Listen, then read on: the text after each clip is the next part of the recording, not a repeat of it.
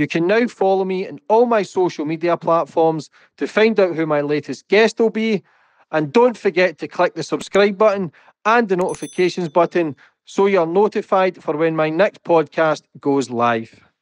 She wrote a letter to, is it Paul Burrell in 96 and yeah. says that they were going to kill her yeah. in a car accident. Yeah. Was there, she ever in fear of her life? Did you ever feel that yeah, vibe? she was. Everywhere you go, you're trying to make it as sterile as possible because there was massive threats against uh, the family and him. He brought down the government with the cash for questions carry on, which I was involved with. People who were watching you, and we did find people watching us doing surveillance on us uh, from um, MI5, which was standard, uh, and others. What you're hoping is they're going to look at your level of security and they're going to go, no, it's too, we can't get away with this, it's too much. You know, you've just got to see through all the bullshit, man. This is fucking insane this is going to get everybody killed, and I'm not sending my men in there. Some of the iconic pictures you see of the princess, there was one of me and her in a boat where she's whispering to me, that made it all over the world. Some of them sold for a million euros. So you can see why, why they were so aggressive to get in and get in your face and try and take a compromising uh, photo. And the question is, why did everybody love her? Because people could see what she was like. And the media especially the media in the UK, the tabloids then, uh, just destroyed her. So I said to the princess, I said, Have you seen the daily papers today? Because I wanted to just give her the heads up of, as to what was in. And she said, are you, are you meaning that article in that paper? And I said, Yeah. Like, are you okay with it? And she said, Well, it's his choice. And she turned around, she'd obviously been crying and a lot. And uh, she said, Have you heard about my, my friend? Um, and I said, Yes. Yeah, we have. You know, it's awful what's happened, you know. And, you know, I know you knew him and I'm really sorry. And, and she was crying. And she said, uh, Do you think they're going to do that to me? Because Mr. Fayed, one of his big rules was everybody must wear a seatbelt. He was really big on it. And you can see on the pictures he wasn't staggering drunk. He was expect, but he was made out to be pissed out of his head. And Trevor said to me, and, and Kez has said to me as well, he was not drunk. We would not allow him to drive. Yeah, there was rumours that she was pregnant. Is there any? Um, how can I say?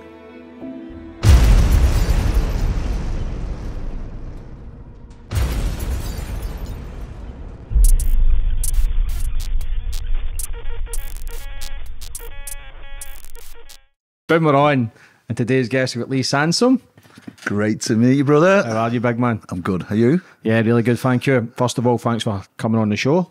My pleasure. Thank you for just, having me on. Yeah, no problem. You just released a book called The Bodyguard. Great read, close protection. Like you've worked with some of the biggest names on the planet, mm. but none other than Princess Diana. Yes, yeah, the, yeah. The biggest name probably on the planet. Yeah. You got to have uh, deep personal conversations with her. Um, your own opinion of the night of the crash. Like very fascinating read. Like yeah. I get a lot of books and a lot of guests, but that one I read in two days. Wow. Very intriguing.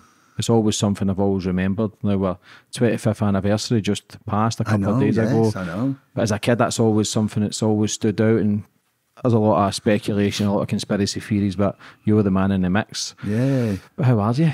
I'm good. I'm good. Good. Busy as always, like you, dashing about all over the show. But uh, yeah, yeah. Everything's good, and good. everything's good. Before we get into everything, I always go back to the start of my guests, where you grew up and how it all began.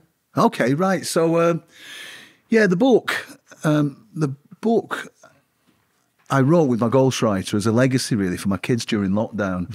And and there, there are th- some things about the princess in there, but she's the big news, right? Everybody, especially the 25th anniversary. So, I uh, I was born in Lancashire, just north of Manchester, and and lived you know most of my years there. We moved in, back into a place called Salford in Manchester, which is slightly different than it is today. Big big working class area, and, and mainly around the dock area. And and you know my dad used to work there, and and my family are all from Manchester. And so we, my parents moved out to a place called Rossendale in Lancashire, and they'd both been there during the war. You know, when they moved the children out, So they, they moved back there. They must have had really good memories of it, you know. So, uh, yeah, born on a big council estate. Uh, what do you call it in Scotland? Uh, a scheme. Scheme, yeah. Massive scheme, thousands of people, uh, full em- employment then in the uh, in the, the cotton mills. And uh, it was a great place to to grow up, you know, loads of pubs, um, big community feeling as you get. And then there's the pecking order, of course, isn't there, as a young man on, on the schemes or on the uh, council estates. So you quickly established your pecking order as a young man, and then your little gangs that you hang out with would have their pecking order as, well.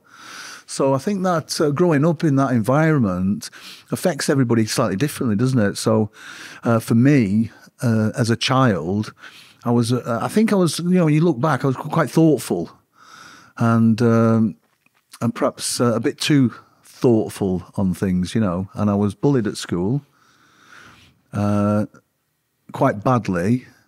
Uh, not not in, in terms of uh, of you know horrendous acts of violence against me. There's a few, but um, I think I, I overthought it, as you can do, you know, and uh, and that played a big part in my life. That um, on my paper, I'm dreading going to school, dreading meeting this person.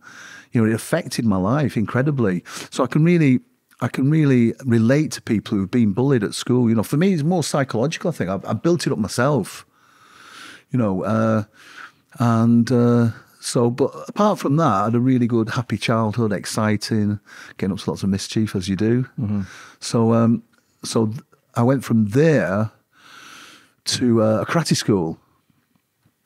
So I thought, if I can learn this karate, I can sort this guy out. So uh, I went to the karate school in a place called Bacup, which is a really interesting place. There's a lot of Irish people settled in uh, in this place called Bacup. It was the last um, train line to be built, and a lot of the navvies got laid off there. So there's friends of mine had Irish accents, had never been there, you know. And there was a big um, there was a big um, uh, community there. How can I say um, supported the IRA? Of course, because that's where they came from and that's their belief. And there's all the murals on the wall and everything. It's an incredible place. You- You'd only go there if you had a friend there, and we didn't have any friends from there because it was just a really rough place. But the first karate school I went to was in this place called Bacup. So I was so determined to do it. So as the bus pulled up, I got off the bus, ran to the community centre because I thought I was going to get battered by the, the young people there, and I probably was if I didn't run. There's a couple of us, and then it started getting worse. Then, so first night there was a there was a, an instructor there, and um, he delighted in beating you up. And he broke my ribs on the first night of my karate, so that didn't work out too well for me. So, um, a bit later on in life, I uh, I started going to football matches, and I used to support Manchester City, which was uh, my home team. And when I went to Rossendale, the, it wasn't the team to support; it was Burnley. You either supported Burnley or no one. So I started going watching Burnley, and I didn't want to, but I soon got the bug for it, and uh, and it became my team. I went all over the the country watching them get beat generally, and, uh, and then got involved in football violence, which was a big kick for me because after all those years of being uncertain about you know your physical attributes and you know psychologically being bullied, but um, the the turning point, a big turning point in my life. I've had a few turning points as we all have, but um, just before the the football violence, probably about the same time, I started figuring out, hang on, I can fight. And I and I could I could find my dad used to teach us boxing when we were young. His dad was a boxer, uh, my granddad, um, and he's one of the top boxers in the country. And then the war came, of course, so he couldn't do it. So he used to do uh, prize fighting, and then he would sort people out in the local area. My granddad is a real tough bastard. Um, and we used to go down to Salford and see him, and all of a sudden there'd be a knock on the door, and it, and and Ted would have to go out, sort somebody out, come back, obviously make a few quid. Uh, so my dad taught us boxing when we was young, and I didn't really like it. My brother was older, and, he, and I think he bust my nose, and you know, it was it wasn't a very pleasant experience for me.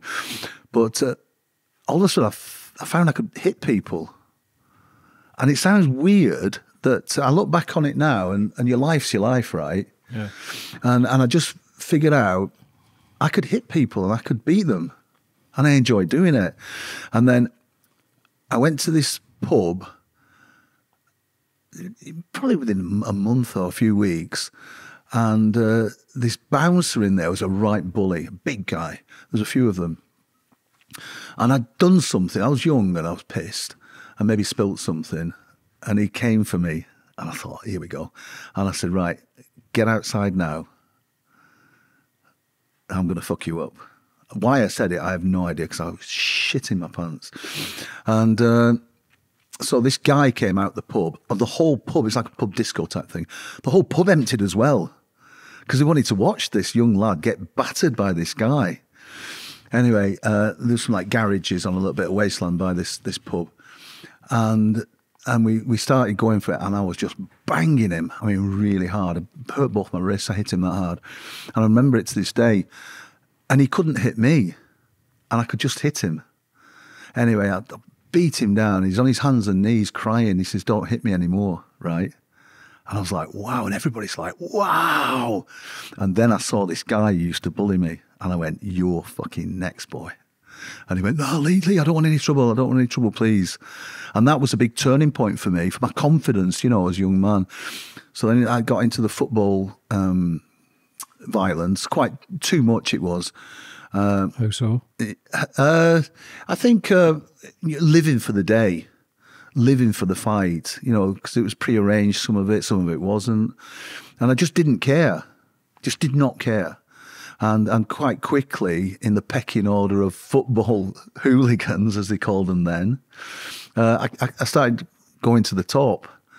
And, uh, and then the local karate instructor from the same club who lived across the the, the estate, uh, he had a chat with my dad. I remember my dad telling me, and he said, he said, Terry, my dad, he's dead now, God bless him. Uh, I, I held his hand when he died. The most empowering thing I've ever done in my life. I just felt so at ease. It's incredible, isn't it? Mm. And this man, I, you know, that uh, we all loved as a lovely guy, and and it made me feel so at one with him. It's incredible, that isn't it? Yeah. And everyone else was crying and all that, and I thought, wow, no, this is great. I get to do this with my dad. Mad, isn't it? So the, the karate instructor said to my dad, "You better get your boys." Because my older brother, he was into the football violence as well, but he wasn't as good as me. I was quite good at it, you know. And so uh, he said, "You better get him in the karate school before they they end up in prison. And our local prison then was Strangeways in Manchester, you know. And uh, I knew a couple of lads that had been in, in there. And and again, even like today, if you go in prison for a stretch, your your social standing goes up in these circles, of course, doesn't it? Mm-hmm. So uh, I started. a badge of honour? It is, yeah, it is, and and it, that's how it is on on uh, you know some of these estates. So I went down to the karate school, and it was a big fighting karate school. All they did was fight. They were well known all over the UK, and uh, I went down there, and pretty soon I got really good at it in a very short period of time. So I think they had four fighting teams, and the, the top team were all, all black belts, uh, some of them international players. So pretty soon, within six months, I was on the team, on the A team. So when we used to go out to fight, there was four black belts and me, a white belt, and I used to go and win. And and and when I got into the sport, it turned me away from the football violence and fighting in the pubs. You know, every, every Friday night I couldn't go home without having a fight. Why do you think that's because of the discipline karate? Yeah, it is. It is. The, it is the discipline. Yeah, it's a discipline. And once you're in a combat sport, you get your, you get your, it fills you up. So you don't need to do it anywhere else. That's what I felt. I remember this one this one time, there's this guy in the local area. I'll not say his name, but um, he was a real tough cookie, and something happened in the pub, and I and uh, and he was just a violent, very violent guy, And uh, I said to him, look, I'm not going to fight you in here. If you want to fight, we'll go out and fight outside because I want to come back in and finish my pint. And he's like, hang on. So we go outside and, and he's rearing to go. And I said, right, just back off me a minute. Took my watch off, took my shirt off, placed it down nice and neat. Bit of psychology going on here. And he said, What are you doing? I said, Well, after me and you have fought, irrespective of who's won, I'm going to go with a nice clean shirt back in there and finish my pint. And he's looking at me like thinking, This guy's off his fucking head. And in the end, he said, I don't want to fight. I don't want to fight you. I don't know why, but I don't want to fight you. So I said, Are, you done? And he said, Yeah. I said, We're going to go back in the pub. You come near me, I'm going to, you know, we're going to fight in the pub. I don't want that. I thought he was going to go in and blindside me or something.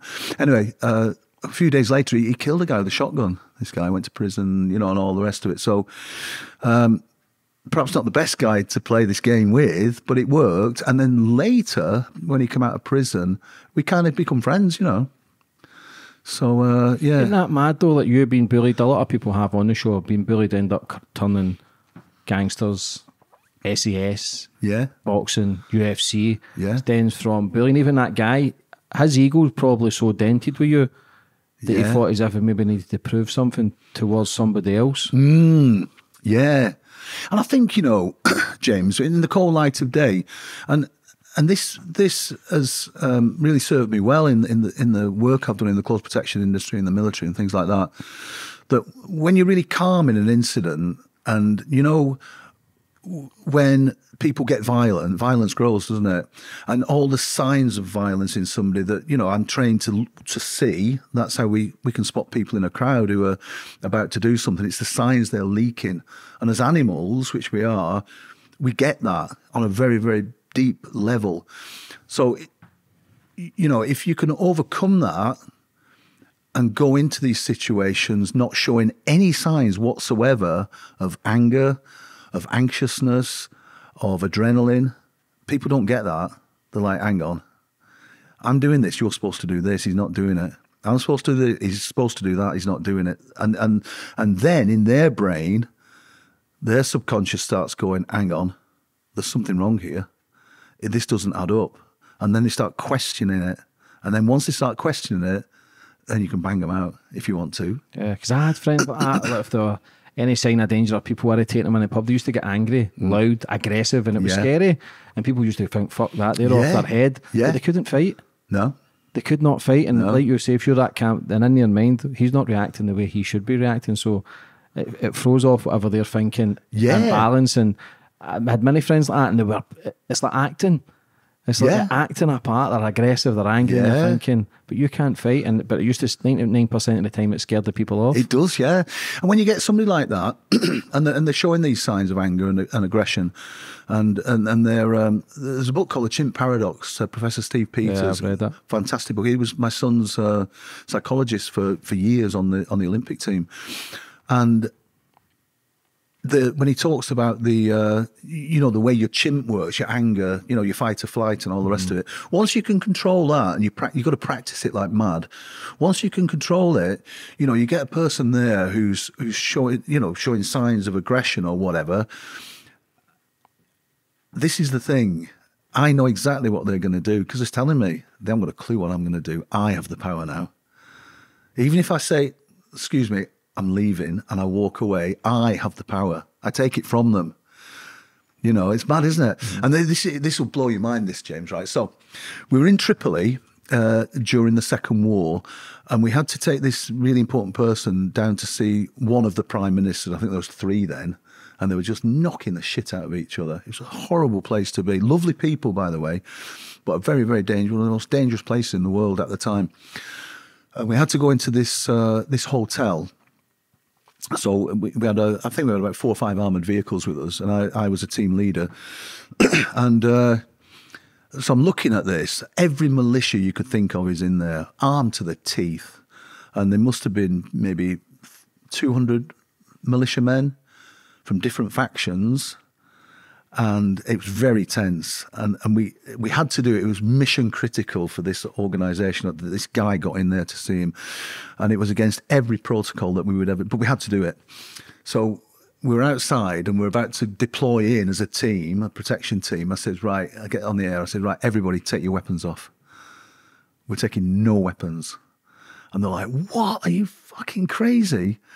And I said, lads, if it kicks off in there, there'll be plenty of weapons lying around. We can pick them up. But, and, but I, I had a weapon. Uh, I took my, uh, my Glock in with me in a, in a, like a really, I used to have this really fancy bag that looked, um, you would see in London, patent leather and everything. It was ridiculously not a tactical bag or anything. And I used to dress quite smartly, so people kind of didn't know who I was, you know. Uh, but but why did it, James, was this. We had our operators, all great operators. I thought if anything happened in there, they will pull that weapon because it's how we work as human beings, isn't it? Said, and if they pull that one weapon, it'd be like taking a water pistol to a gunfight because everybody else was so heavily armed, you know. So I thought if I can get my team that, that don't have the option to pull the weapon, then they're not going to pull it. They'll find a different way to to diffuse any kind of conflict, you know. And it worked really well. And then we were in there, and it's. Have you ever seen that film, Thirteen Hours in Benghazi? No. Watch the film. If you want to see what Libya was like at the time, watch that film. You'll love it. Mm. Um, and once you've watched it, give me a call. You'll call me straight yeah. away and you'll see what it was like. But there's a scene in there very similar to this. And, and what happened is they opened these gates and they let all these people in, you know, for, for publicity. But they could have been carrying or it was, it was just such a dangerous place. And we get we got out and I had to debrief my team after and I told them exactly why. And they kind of got it, you know, but that takes some balls to do that, man. Mm-hmm. So I think you know, um, growing up on the estate really, really served me well in a, in a you know, various ways. and then what did I do then? I, I uh, what was see the adrenaline between the the hooligan stuff and the karate stuff? Is it totally night and day? Where did you get your bigger buzz? Um, I think the karate and then kickboxing. Uh, because you're one of the highest ranked, aren't you? Eighth Dan, is that correct? Eighth Dan, yeah, eighth Dan. Um, That's unbelievable. It is. It is. I, you know, I've spent a lot of my time. Uh, it's it's my hobby. It's my passion. It's our family um, business. You know, we we run karate schools, professional karate schools. We have a lot of instructors. We have great students. But I think with the karate and the kickboxing, because there's rules and you have to like any any martial art, any stand up, any any combat. There are rules, and the rules make it difficult to beat someone. And I think that gives you a bigger buzz because you've got to really train hard for it. So that's a massive buzz um, when you stood in front of somebody, and it's it's you and them. It's very animalistic, isn't it? Mm-hmm. But I think this is what really helped me is that, say, for example, I was stood across from a karate fighter or kickboxing or taekwondo. I've done them all at international level. I'd look at them in the eye. One thing for sure is I trained harder than them. And two is if I met you outside on the street, I would fucking kill you. And I knew it.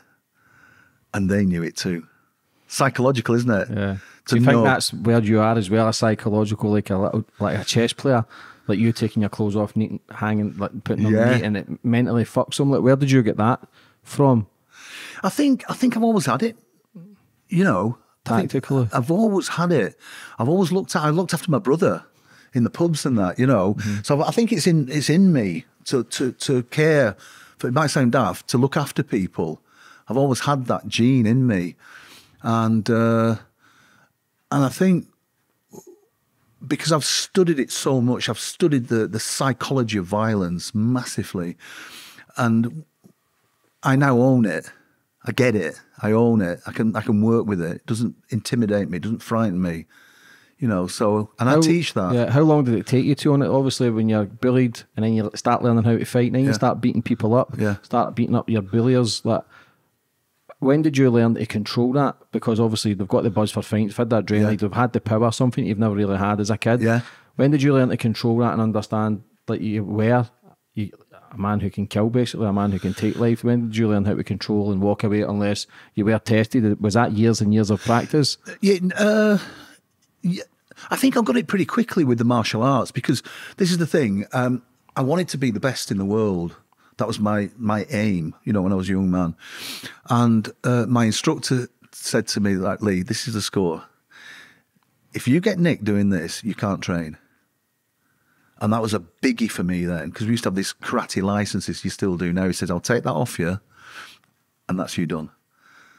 And that was enough for me to say, right, I've got to stop this. And I sorted myself out almost overnight. Crazy, isn't it? Mm-hmm. And then I'd go into the pubs and stuff, and even in later life, going back to, to my local pub, which my nan and granddad used to run back in the day, and, and meet people, and everybody go, "Oh, that's him. That's that guy. That's, that, that's that tough guy," you know. And I didn't like that, and I still and I don't like it. But but it just goes to show how your memory or the legacy lives on. It wasn't a legacy that I, I wanted as I got older. Crazy, isn't it? Yeah. But um, but I think, yeah, it, was the thought of losing my sport because I just wanted to be the best in the world, you know. Yeah. So what did you do when you started moving through the ranks then? Did you just stay focused into karate and kickboxing? Yeah, I, I focused on karate and I was moving up, uh, fighting some of the best people in the world and, and doing extremely well, you know. And then at 20, 21, I went to South Africa. So I just got on a flight, went to South Africa, I had uh, I had a, a, wife then, Melanie, and we had one child.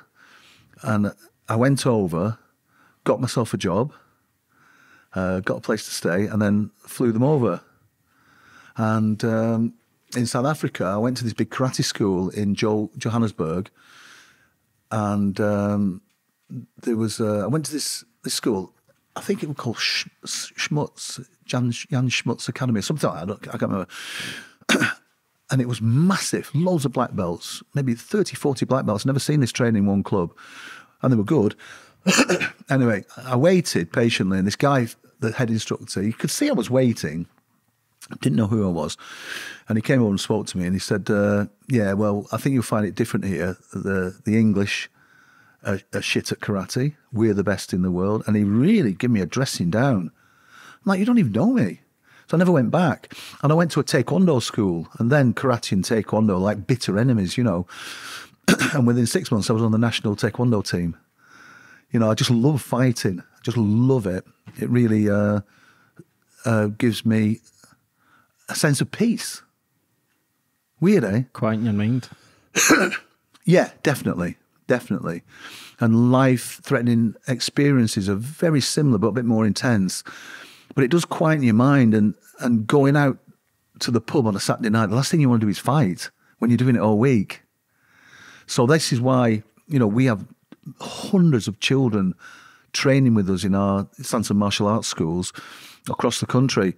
And I'm hoping and I'm praying that they find that in, in the karate as well.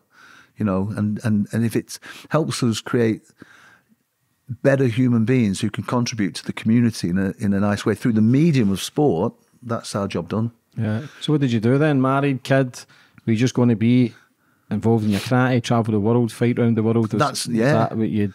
that was the plan. That was the plan. Then marriage and babies comes responsibility and mm-hmm. cash at the time. Cash was short. Not much money in karate or kickboxing, is there? Though there is now they didn't used to be, but mm. now a lot of people make a good living out of it. You know, our instructors make a good living out of it, um, and, and we we specifically look for young martial artists who maybe have um, been injured or gone on their martial arts journey. And they're great athletes, great teachers, but they don't know the business side of things. And, and I didn't. And I remember going to a, a big business meeting in Wales for the karate when I first opened my karate school here in 2000 well, it it's kickboxing school then. Um, I went into kickboxing. I was quite successful at that, as well as my son, you know, world champion. And I went down to this meeting, and there were top martial arts school owners from all over the world. And I was asked to, to teach a high energy class, which I did. And then we went to the business meeting, and they're all sat around talking about business. I hadn't got a fucking clue what they were talking about. And now I'm the little boy in the room now, and Kate was with me, uh, my wife Kate, who comes from a really big business family. Her dad uh, um, got the Queen's Award for Export. She knows all about business. And I came out of that meeting. I said to Kate, "Never again am I going to look stupid like that." And I taught myself uh, business, studied it for years, so I became a master at it, uh, as much as I could be. Um, yeah, so the martial arts uh, now with these young kids, because of uh, because of the internet and everything, we can centrally do all their marketing for them. We look after their students for them. We look after all the admin for them, so they can just get up and teach. And that's what martial arts guys want to do. And and I've, we've seen so many people up in martial arts schools who think, well, I'm going to earn a good living out of this, and they just fail because you've got to be a business person to run a business, haven't you? Yeah, so, keep it afloat. Yeah. So now we're really lucky that we've got a great team. I've got 20 odd instructors on my team here. Um, and uh, we have great admin support and everything. So uh, we've just set a young lad up. He's just come off the British Taekwondo team uh, on the Olympic team. And for whatever reason, he had to leave. So we've we've set him up in Manchester, and he's having a great time teaching. He loves it. Mm-hmm. So he's a real good success story for us, you know. Yeah. So if you're living a dream, bit of son over in South Africa, world champion karate, kickboxing, got your wife, got your kid. How did you end up involved in like military and close protection? Yeah, it's interesting. Uh, my wife didn't like my wife then. She didn't like South Africa, uh, and she didn't really get it. So I had to come back home. So I came back home um, a couple of years later, and I didn't really have any. I had nothing. I was staying at uh, friends of mine, Stephen and Karen. God bless them. I love those people. And so we were staying there with a little baby, uh, and then we had a second baby, uh, Janine. First one was Shemaine, then, then Janine came along, and I, I, didn't really know what to do. But I, know I, I didn't want to go back to the steel factory. I was um, I worked. I got an apprentice uh, boilermaker, sheet metal worker. I worked in the steel factory for you know. That's what I was doing in South Africa. And uh, I thought, right, I met a friend of mine in the pub, and he was uh, he joined the military police, and I was chatting to him, and he was telling me how good it was, and I thought, I just get that. There's me wanting to join a policing agency, having been a bad boy, you know, and I, I, didn't have a lot of respect for the police um, because I didn't get what they did. And, and when you're in a community that everybody hates the police, then you go down that line, don't you? Mm-hmm. It's only, re, you know, in later, you know, as I joined the police, I understood that the, you know, what the police do and what a difficult job they have to do, not only with the public, but with the restraints that are on them and all the rest of it. So uh, I joined the military police. And I went down for my selection, and the, and the, the officer there did not want me to join the military police. He wanted me to join the engineers because I was I was a tradesman. And I had a fit, and I fought to get in, and, and I joined the military police, and I had ten of the best years of my life. Incredible, doing all, and I was so lucky that I did such a, a different range of things in the military police um, that just filled me up. You know, what's the difference, basis. military police, normal police? So the Royal Military Police is a is an army unit, and anybody listening to us who have been in the army, I bet they'll be going, "Oh, they'll have their comments on it." But the military police are the the army's police force. Yeah, the MPs who come if people go AWOL and shit. Yeah, they do all. We do they do all sorts of stuff, but uh, but essentially we don't have any powers to to discipline anybody really. What what what would happen is the, the commanding officer of a of a, a unit, say an infantry unit, if any of their people did anything to contravene military law or whatever, you, you know the military police guys would uh, arrest them and question them and, and make up a file on that one particular case and give it to the commanding officer, and he deals with it. A lot of people think the military police deal with it. We don't.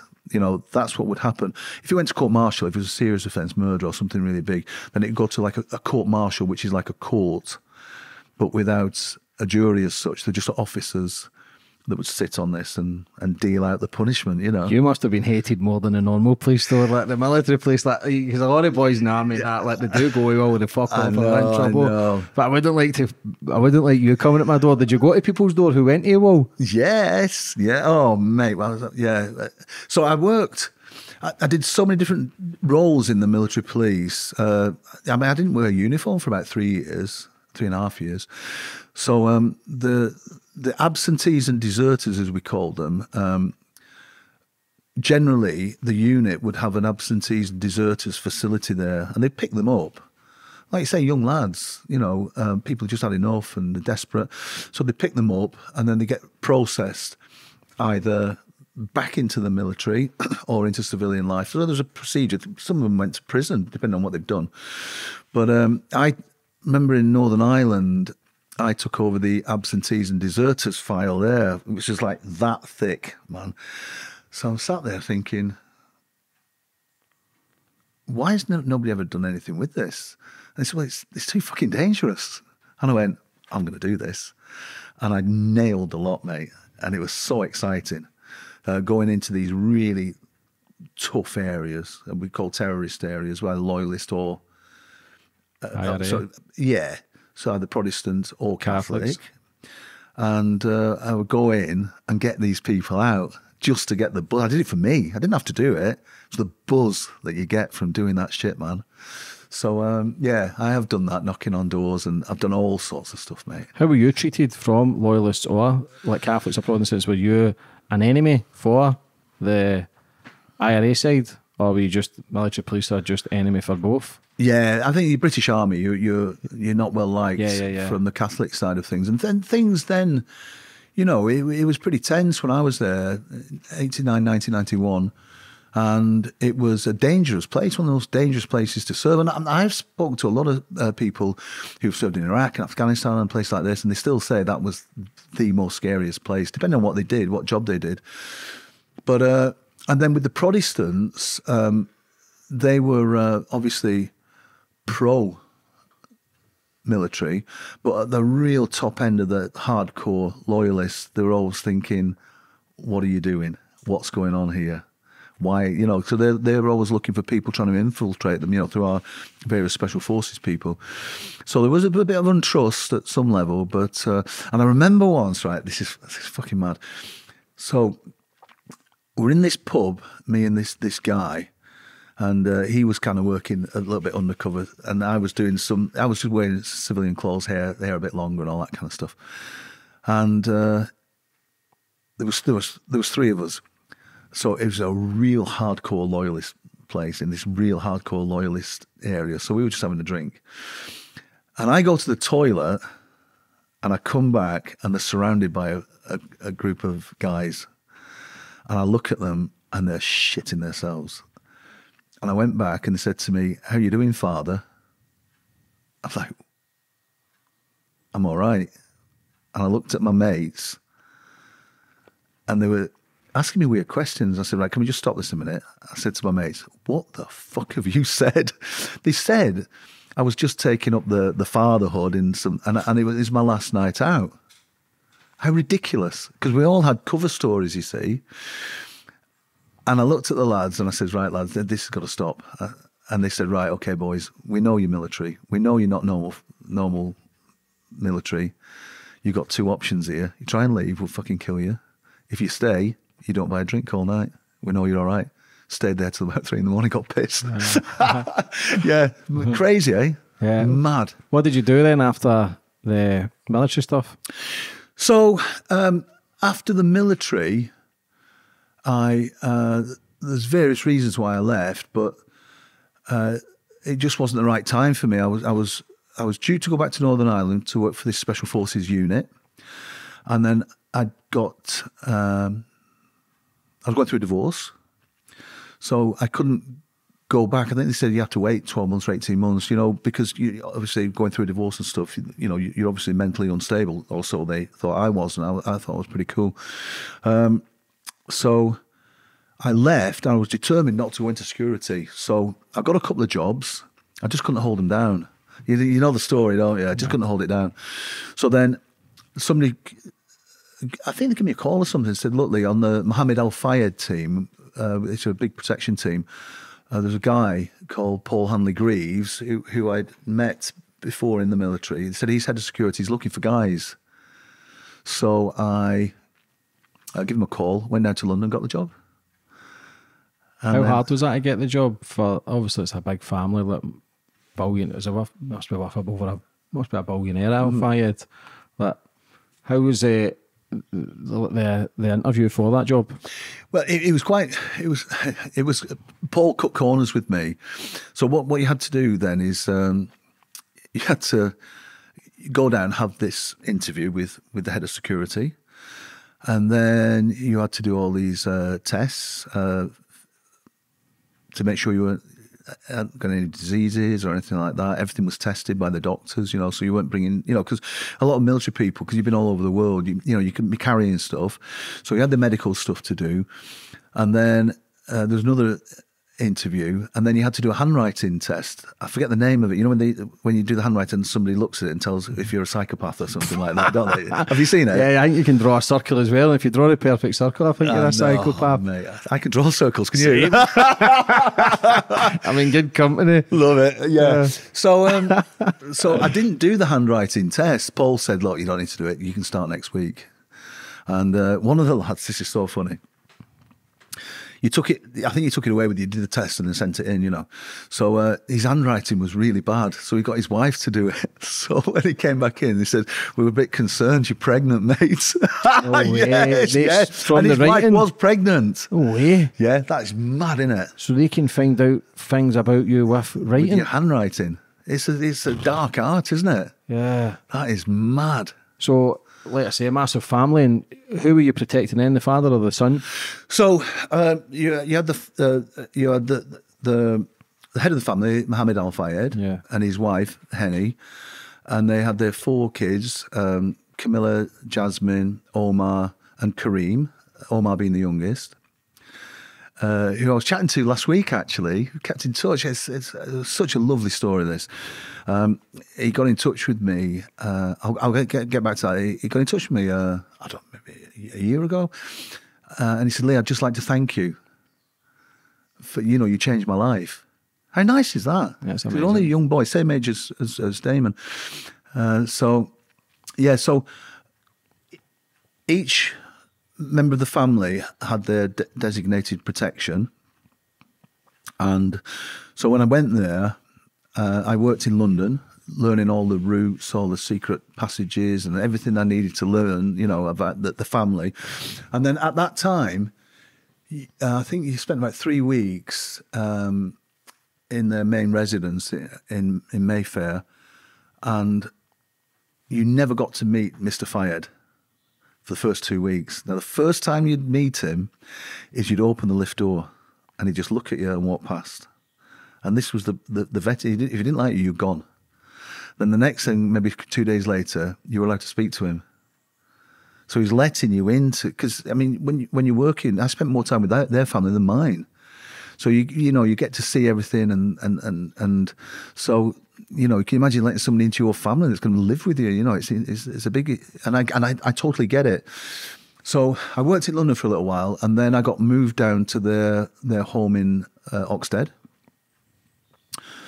and then I worked a lot with the boys. And then I worked sometimes with the girls or with Mrs. Fayed. Uh, and then I went on to his team. So I looked after him then. And that was like the, uh, the, the, the it was you got paid more money. It was a bit more credibility. You know, it's a great job. I loved the job, and then I was team leader for a, a little while and uh, yeah, just had the most amazing experience you could ever imagine. Private jets everywhere, helicopters, boats, the whole shooting match. How many security was protecting that family? Well, I mean, uh, at at different stages, we had different uh, numbers, but it was a considerable team. Um, it was a considerable setup at that time. Yeah. Um, at any at any one time on the books, maybe 50. 50? On the books, yeah. And we all worked, worked, around in rotation. But this is the thing, James, what people don't understand. I know you've read the book about close protection operators. Um, say, for example, in Northern Ireland, if we went out as a, a close protection team, or you, you know, because I worked in witness protection for a little while, uh, you might have four guys on the ground. You might have 150, 200 people around you in support of that, you know. So on the bigger close protection teams, you've got your your your surveillance people, your counter surveillance, uh, your drivers. You've got your close protection team that work with with the, the, the VIP as such, and uh, and then you've got people around them. You know, so it's there's layers of security, and then you've got people at the residences looking after them, so nobody gets in there and and leaves things in there, cameras, bugs, um, whatever. So it, every everywhere you go, you're trying to make it as sterile as possible because there was massive threats against uh, the family and him. He brought down the government with the cash for questions carry on, which I was, I was involved with. Um, so yeah, what was that? And so um, what he did is he wanted his British uh, passport, but they wouldn't give it him the passport because when he bought Harrods, there was a big legal case that went on with him and this guy called Tiny Rowlands who tried to buy it. And what they what they were alleging is he bought it with somebody else's money, and it was the um, uh, one of the, uh, the Sultan of Oman who he used to work with. So I think he had his gold credit card and bought it. But the, the Sultan went there and said, no, no, no, there's nothing going on here. His money's my money. I'm okay with this. This is fine. So I think at the end of that trial, he, he was found not guilty. But I think the upper classes put like the death wish on him and said, but it wasn't, he didn't do it like a gentleman. So he couldn't get his British passport. How crazy is that? Everything he used to do here, he was a very generous man. You know, he did a lot for charity. Um, but which, which, he never told anybody for children's hospitals and things like this, and for the older people in his town, hampers at Christmas and everything. But he never publicised it. And you're thinking, we need people like that in our country, and I just don't get it, you know, in the UK. So, um, yeah. So what happened was he went to prominent politicians and said, "Look, can you ask these questions in in the House of Parliament?" About my passport and there's some money. Go and stay at my Ritz hotel free. So he, that's what he did. And in the end, they weren't asking the questions. So he said, Right, okay, I'm going to show you fuckers. And he said, Right, publicly, that person, that person, that person, I've done this, this, this, and there's the evidence. And he brought the government down. That's mad, isn't it? So they took money expecting him not to just walk away. No, yeah. but but he's not that kind but of guy. He's, he's always had a target on him for some reason. Even me in the news, newspapers always been negative about the man. How was he as an individual?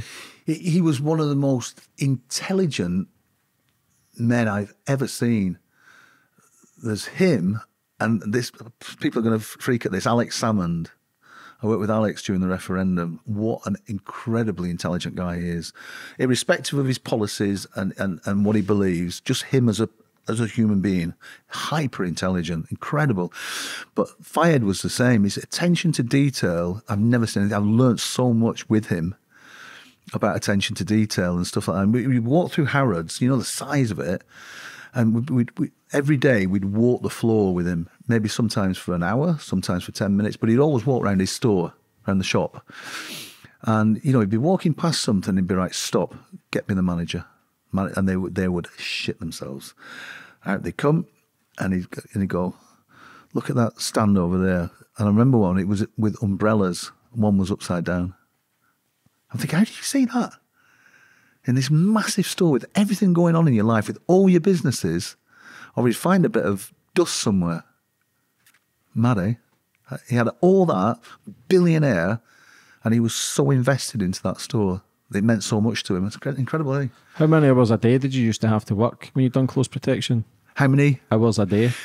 Um, because we're all ex-military, uh, we're generally in the, in the close protection industry in the, in the, area I work in, it's a lot of ninety nine point nine percent ex-military. So you're used to working long hours, so you don't clock off, and it's given, you know. So if I if I uh, was to go on um, on operation, you would stay till it's finished. I mean, the the the worst I've done, I think, is three days. I was standing up asleep because we were just knackered. We had a few hours sleep in three days. It was it was hideous. Uh, and you, you, you just no matter how tough you are, no matter how trained you are, there's a breaking point in there when you, you sleep deprivation. And I remember on this one job, and, and the Queen came over to Northern Ireland, and uh, she had her protection with her, and we were the, the, the next ring of protection looking after her. and I was absolutely hanging. And at the end of it, I was doing top cover in the in the Land Rovers. You, you stood at the top of the, the vehicles that we had then uh, with the weapons. You see them in the war zones, don't you? So I was doing top cover, and I was I fell asleep in that position. There's nothing you could do. We were banging helmets. We were absolutely knackered. So you operationally, you're not fit for purpose, you know. But but generally, you know, in with the fire team and other jobs I've done, sometimes you can put in an 18 hour day because what you've got to do is this. This is the thing a lot of people don't understand. So you've got to do your physical training yourself to keep your, you know, keep on top of your game. So you've got to be mentally fit and physically fit. So, say for example, you knew the family were were doing something. Let's say nine o'clock. So you'd be ready for eight, for example, and then you you've got to prep everything. So that might be another hour. Then you've got to do your fizz, which would be another hour. Then you've got to shower, change. All of a sudden, so now you're getting up at five o'clock. And so they go out and do their own thing. Then say for example you go back to the residence or wherever you are on a yacht or something, they'll go and have a sleep. Now you've got work to do then, prepping for what you're doing that evening, and then they've they, they might be out in the nightclub till two three in the morning, repeat. Mm-hmm. And repeat. See when they're on yachts and stuff, like the food, I'd imagine the chefs and that, they're all have the background checks with everybody with the food, obviously, because you see the Russians, people are getting poisoned, yeah, this and that. Was, yeah, yeah. was that always a question marks for himself, like eating the right foods and the waters and everything? Was that all tested? Well, it, it's. Or is that a bit extreme? No, no, no, no, not at all. It, it, it is a concern, but what we had with the chefs, they'd been with the family for that many years. They were known to us, you know, and and a lot of his staff stayed with him for a long time. He used to pay the best wages, they expect the best, and that's what he got. So um, new people were vetted, of course, and uh, and then let into the fold, fold slowly. So they might maybe work at Harrods for a couple of years, three years. So then you get to know them. Then they may, might come in and do something on a low level, and then once they're accepted by the family and they're trusted, and that's that's pretty standard standard yeah. stuff, you know. Was there ever any attempts of his life when you were working there? Um, were there any attempts? Um, how can I say? When you have a, a, protection team as professional as that one, the the people who are watching you, and we did find people watching us doing surveillance on us uh, from um, MI5, which was standard, uh, and others. What you're hoping is they're going to look at your level, level of security, and they're going to go, "No, it's too. We can't get away with this. It's too much," and then put them onto somebody else you know, it's, it's this is this is this is an interesting. I've always thought this. So, say for example, in Glasgow, let's say on a Saturday night in Glasgow, there are. I'm going to make this up. 400 attacks against some the person in Glasgow. Let's say, for example, there's 500 happen on a Saturday night. You can't change that. That will always happen, but you can make sure it's not you by taking precautions. So the people who didn't like him, and he had a lot of people who didn't like him. You, you, what you're doing when you're doing your close protection stuff is you're look watching them watching you. And and an attack starts.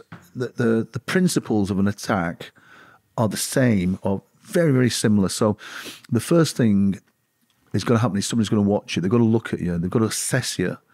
Sometimes it can be over a period of years. Sometimes it can be a minute. You're in a pub, somebody looks at you and you know something's going to kick off, or in a kebab shop or wherever.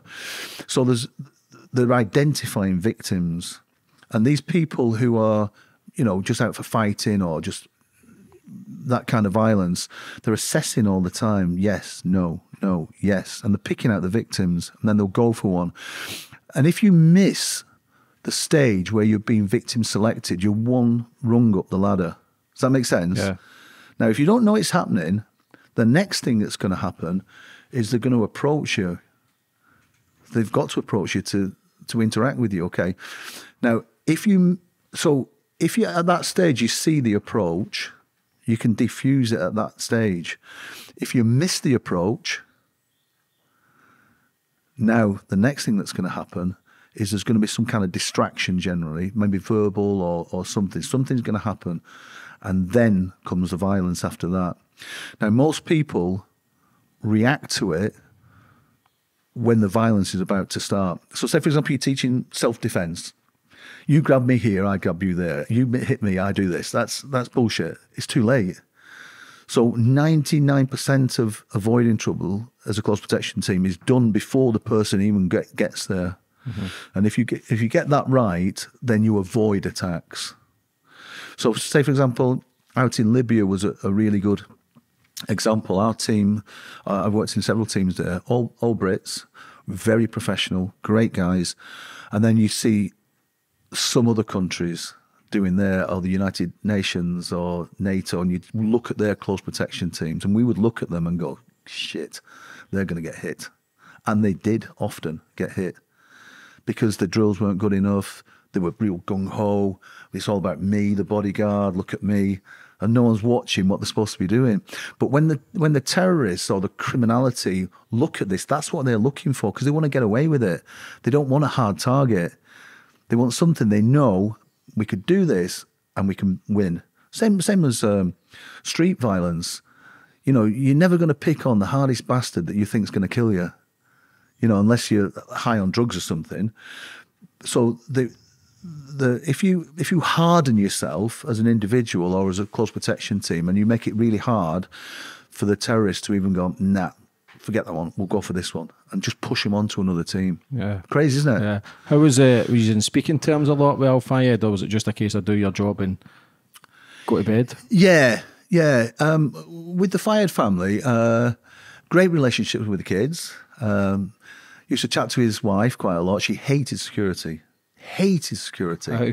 I think it just interfered with her life. Yeah, not private. No, and, and her and her eldest daughter, they were they were really good at escaping from the from the security, and uh, they go into shops, put a different jacket on, climb, try and climb out the window. Not his his, his wife wouldn't try and climb out the window, but she'd try and ditch security.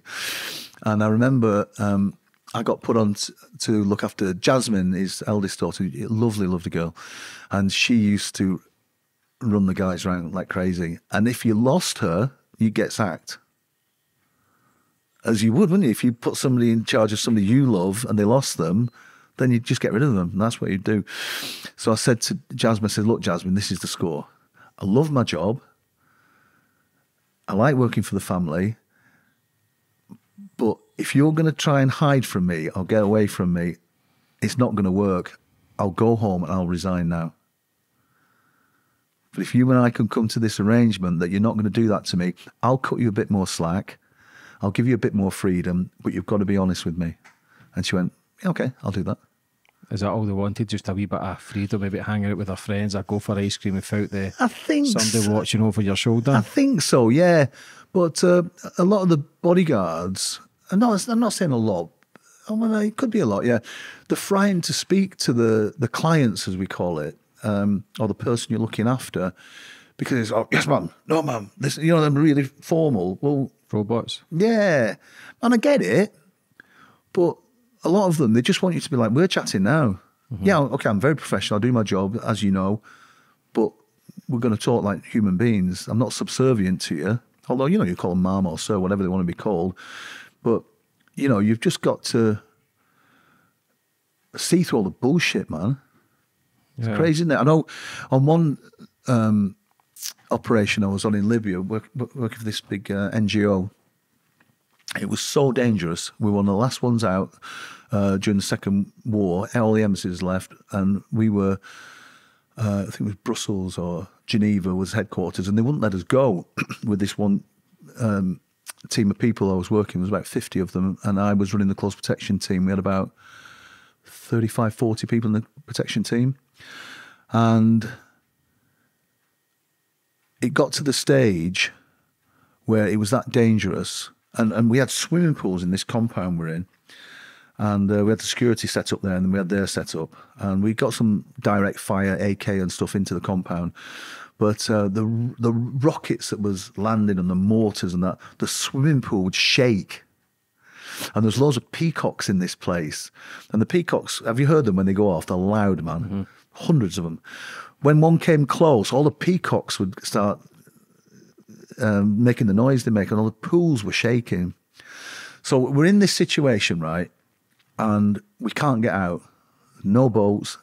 Airport's been uh, the the Battle of Tripoli Airport. They smashed it to pieces. I was in that. That was fucking horrendous. So we are trying to get out. Um, so uh, we went and tried to buy a boat, and I knew we were going to get we were going to get ripped off. This is during the war. This, so I took some some guys down there. Tried to buy this boat, and I knew we were going to get. Uh, you know, your your spider senses start tingling. I, th- I thought they were going to just shoot us and, and take the money. So we bugged out of this place. It was like a big disused building, and that was that was a bit tense. So we go back, and this one guy, he was French, and he was a reporter, a journalist.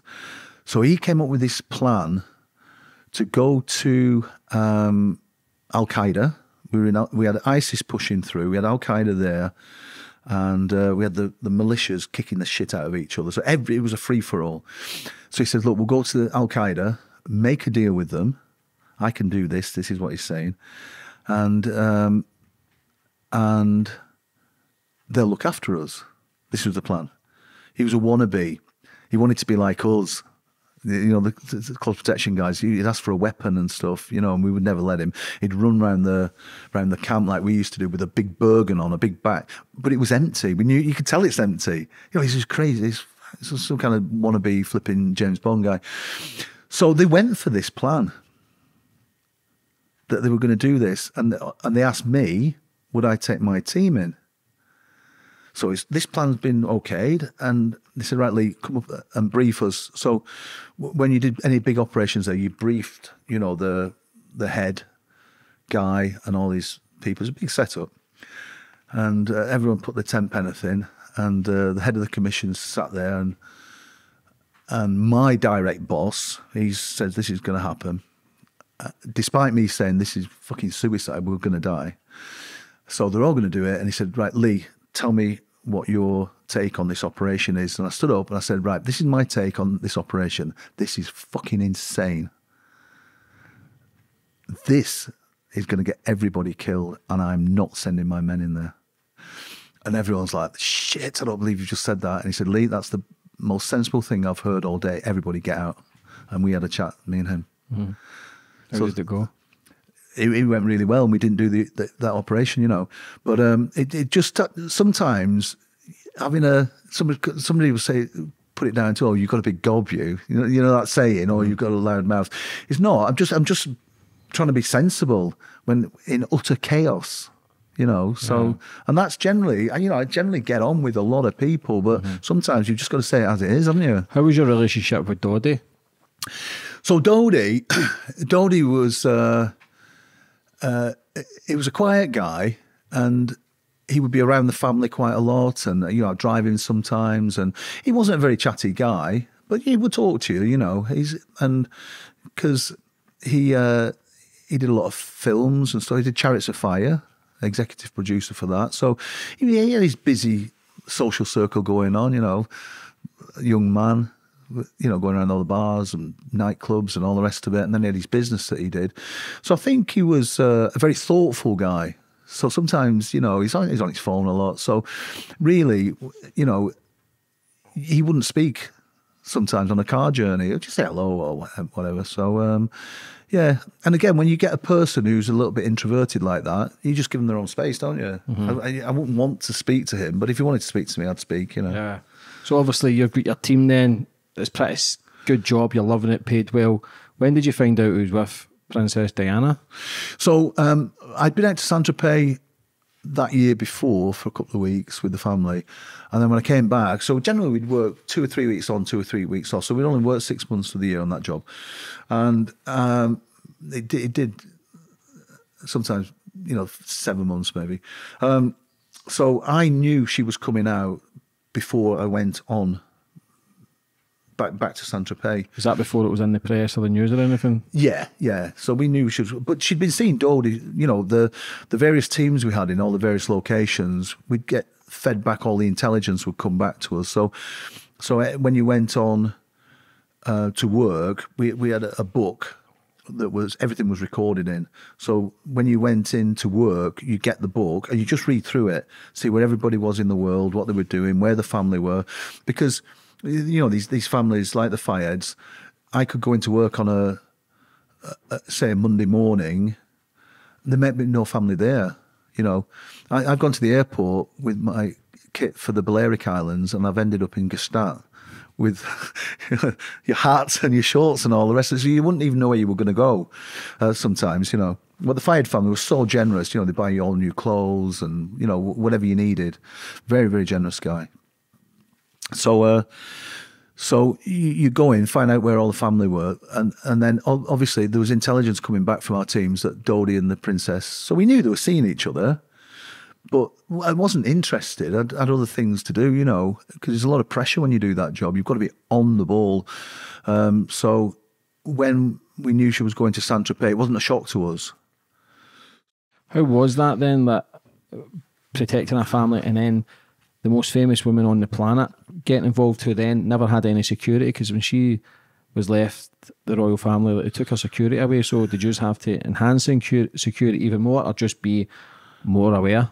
Yeah, we enhanced security for that trip, and uh, the princess came out with the with the boys, Harry and William, and they had a policeman each from the Royal Protection that came with them. Two great guys. And because it was that busy with the paparazzi, you have never seen anything like it in your life. And because it was such a fast moving environment. Sometimes the, the policeman would be going out with Mr. Fayed, or they could be going out with the, the kids. So we all just mixed in as one team. Uh, which was really cool for the, these guys, and and the policeman said, you know, what a professional outfit we were, you know, so, uh, and they've been working in close protection for a while. And on the Fayed team, we had some of the top close protection people in the world, you know, ex SAS, ex military police close protection lads, you know, so we had some great experience there. Mm-hmm. You know, and then we had uh, ex MI5 people working for us and all sorts of stuff. So it was a great team. What was the first conversation you had with Diana? Yeah, the first conversation I had with her, uh, she was getting off the tender, the boat, the small boat that came from the from the the super yacht uh, one of the super yachts, and she comes in, and the paparazzi didn't know we were there. Then this is day one, so uh, I just leant over and gave him my shoulder because you don't want to put your hand out. Some people don't like touching you. You know, the high net worth individuals, they don't even like touching you, you know. So I just put my shoulder down to uh, for her to lean on if she needed to. She didn't. She just jumped straight out like a flipping, like a flipping dying. But uh, she's a fit, fit lady, and she said, "Oh, what more heavies?" And smiled at me and laughed, and I introduced myself, and uh, that's the first conversation I had. So she, when she said more heavies, she meant obviously more protection. Mm-hmm. You know. So how was it? You know, as a holiday was going on, once the media and that started finding out where they were, that did that sort of give a lot of unrest as well, especially with cameras. Could potentially be guns behind that, are people trying to attack. That was yeah. that always a concern? Yeah, yeah. It's you know uh, the princess. Then she was the most well-known person in the world, you know, without a shadow of a doubt. And she was doing all the the demining stuff. She wanted to stop them doing landmines. So there's there was people that she was obviously upsetting there. So and, and, and various things and high net worth people, stalkers. She had a lot of stalkers and stuff like that that uh, we knew about. We had pictures of them and things like this. So with the paparazzi, they were so aggressive. Uh, I think day two they started, and then there was two of them, uh, and because we wouldn't let them in into where they wanted to go on on the beach, because the beaches in France they're not private so they wanted to go on the beach, and we wouldn't let them. And um, they, I think we upset them a little bit. One of my friends banged one out because uh, they had protection with them as well. Some of them, he had a protection Why? because they're so aggressive in what they're doing. They they know that people can get aggressive with the the cameraman, so they call it backwatch. So they had some of them had their own protection. So uh, a friend of mine, he banged out the the protection guy, and we we sent them on the way, and they said, "Right, we're going to tell everybody now," and they did, and there were hundreds and hundreds of them. Just you know, it was just insane. At one stage, I, I was looking, and there must have been to, to our left maybe 100 to our right maybe the same there must have been 50 boats just off the the beach this small small beach the Fayed, the Fayed beach and uh, there was even a helicopter going over because I think then some of the iconic pictures you see of the princess. There was one of me and her in a boat where she's whispering to me. That made it all over the world. Some of them sold for a million euros. So you can see why why they were so aggressive to get in and get in your face and try and take a compromising uh, photo, but or airbrush it, which they did then. I don't know if they still do it now. You never know. Yeah. I would hazard a guess. But there's a famous one of her saying she's pregnant uh, in this like a leopard type print, uh, and we looked at it and we are going, "That's not her." They they they altered the photograph, and they made the story up. Yeah, frontline news. Diana's pregnant. It's going to sell all around the world. Yeah, going to make them a lot of money. Yeah, because see when she's like did, did she have any agreement with the press to say like take photos there and then try and leave me alone, or was it just yeah. a case that she had to surrender to what was around her? yeah, she did, and we would speak to the princess in the morning. She'd come down in the morning, and, and I would chat to her on the beach. That was her like routine, and she said, "Look, this is what what I'm going to do. This this works." She said, "I'll pose for photographs from. We'll tell them they can get the photograph. I can manage it." They'll get the photograph and then they'll go. And their sort of like MO would be once they got the photograph, they go into Saint Tropez and they'd all get pissed. And then they'd turn up later in the morning. That's that's what they did. So she would some of the pictures you've seen of her sat sat on various things and just like reclining in the in the sunshine. They'd take the photographs and be like, look at her lapping it up. She loves all this, posing for the camera. Bastards, eh? Yeah. And and, and she only did it so that they go and the children could go and play in the sea. So she couldn't do right for doing wrong. Can you imagine living in that life? Yeah, and she was a phenomenal woman. Like you said, it was at the Halo Trust.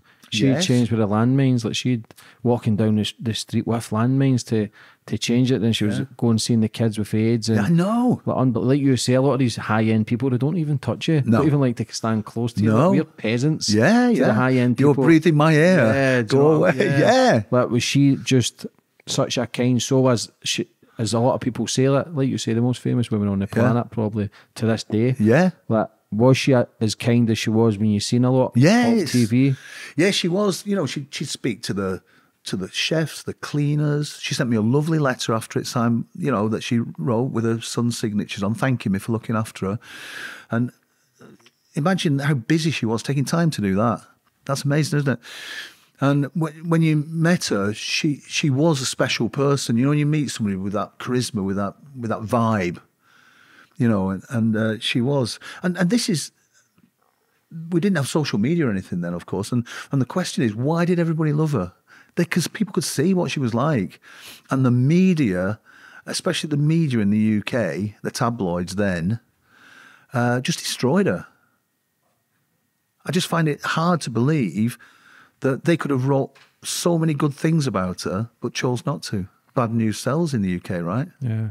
Did she ever read the articles herself? Um, I think she did. Yeah, there was there was uh, there was there was one uh, with with a picture of her. I think it was the Sun newspaper or, or, one of them. There was a picture of her and a picture of Camilla. So it was a beautiful picture of her and an awful picture of Camilla. Uh, how can you do that to people? And I think it said. Uh, Charles chooses her over her, that, that kind of thing. It was headlines, front, front page news.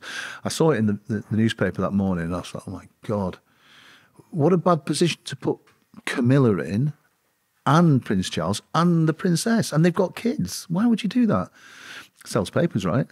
So I said to the princess, I said, have you seen the daily papers today? Because I wanted to just give her the heads up of, as to what was in. And she said, are you, are you meaning that article in that paper? And I said, Yeah. Like, are you okay with it? And she said, Well, it's his choice. I just changed the conversation. Uh, great. That says a lot about a person, that doesn't it?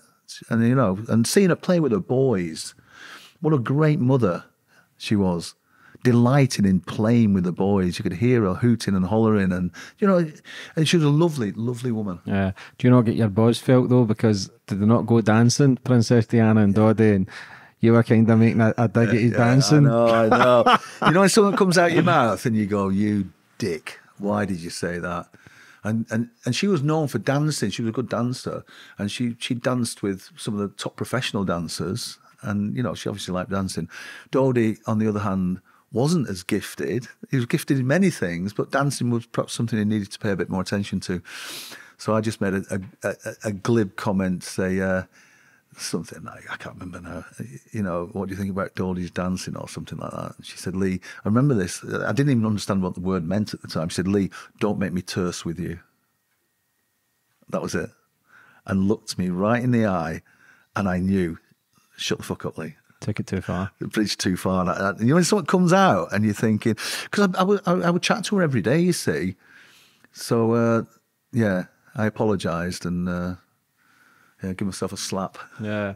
Because did her life, what, what year was this? 97. So that was the same year she passed. She passed a few weeks after that, yeah. So, because she wrote a letter to, is it Paul Burrell in 96 and Yeah. says that they were going to kill her Yeah. in a car accident. Yeah. Was she ever in fear of her life? Did you ever feel that Yeah, vibe? she was. Yeah, I spoke to Paul Burrell actually in London the other day, and he was telling me about that same letter.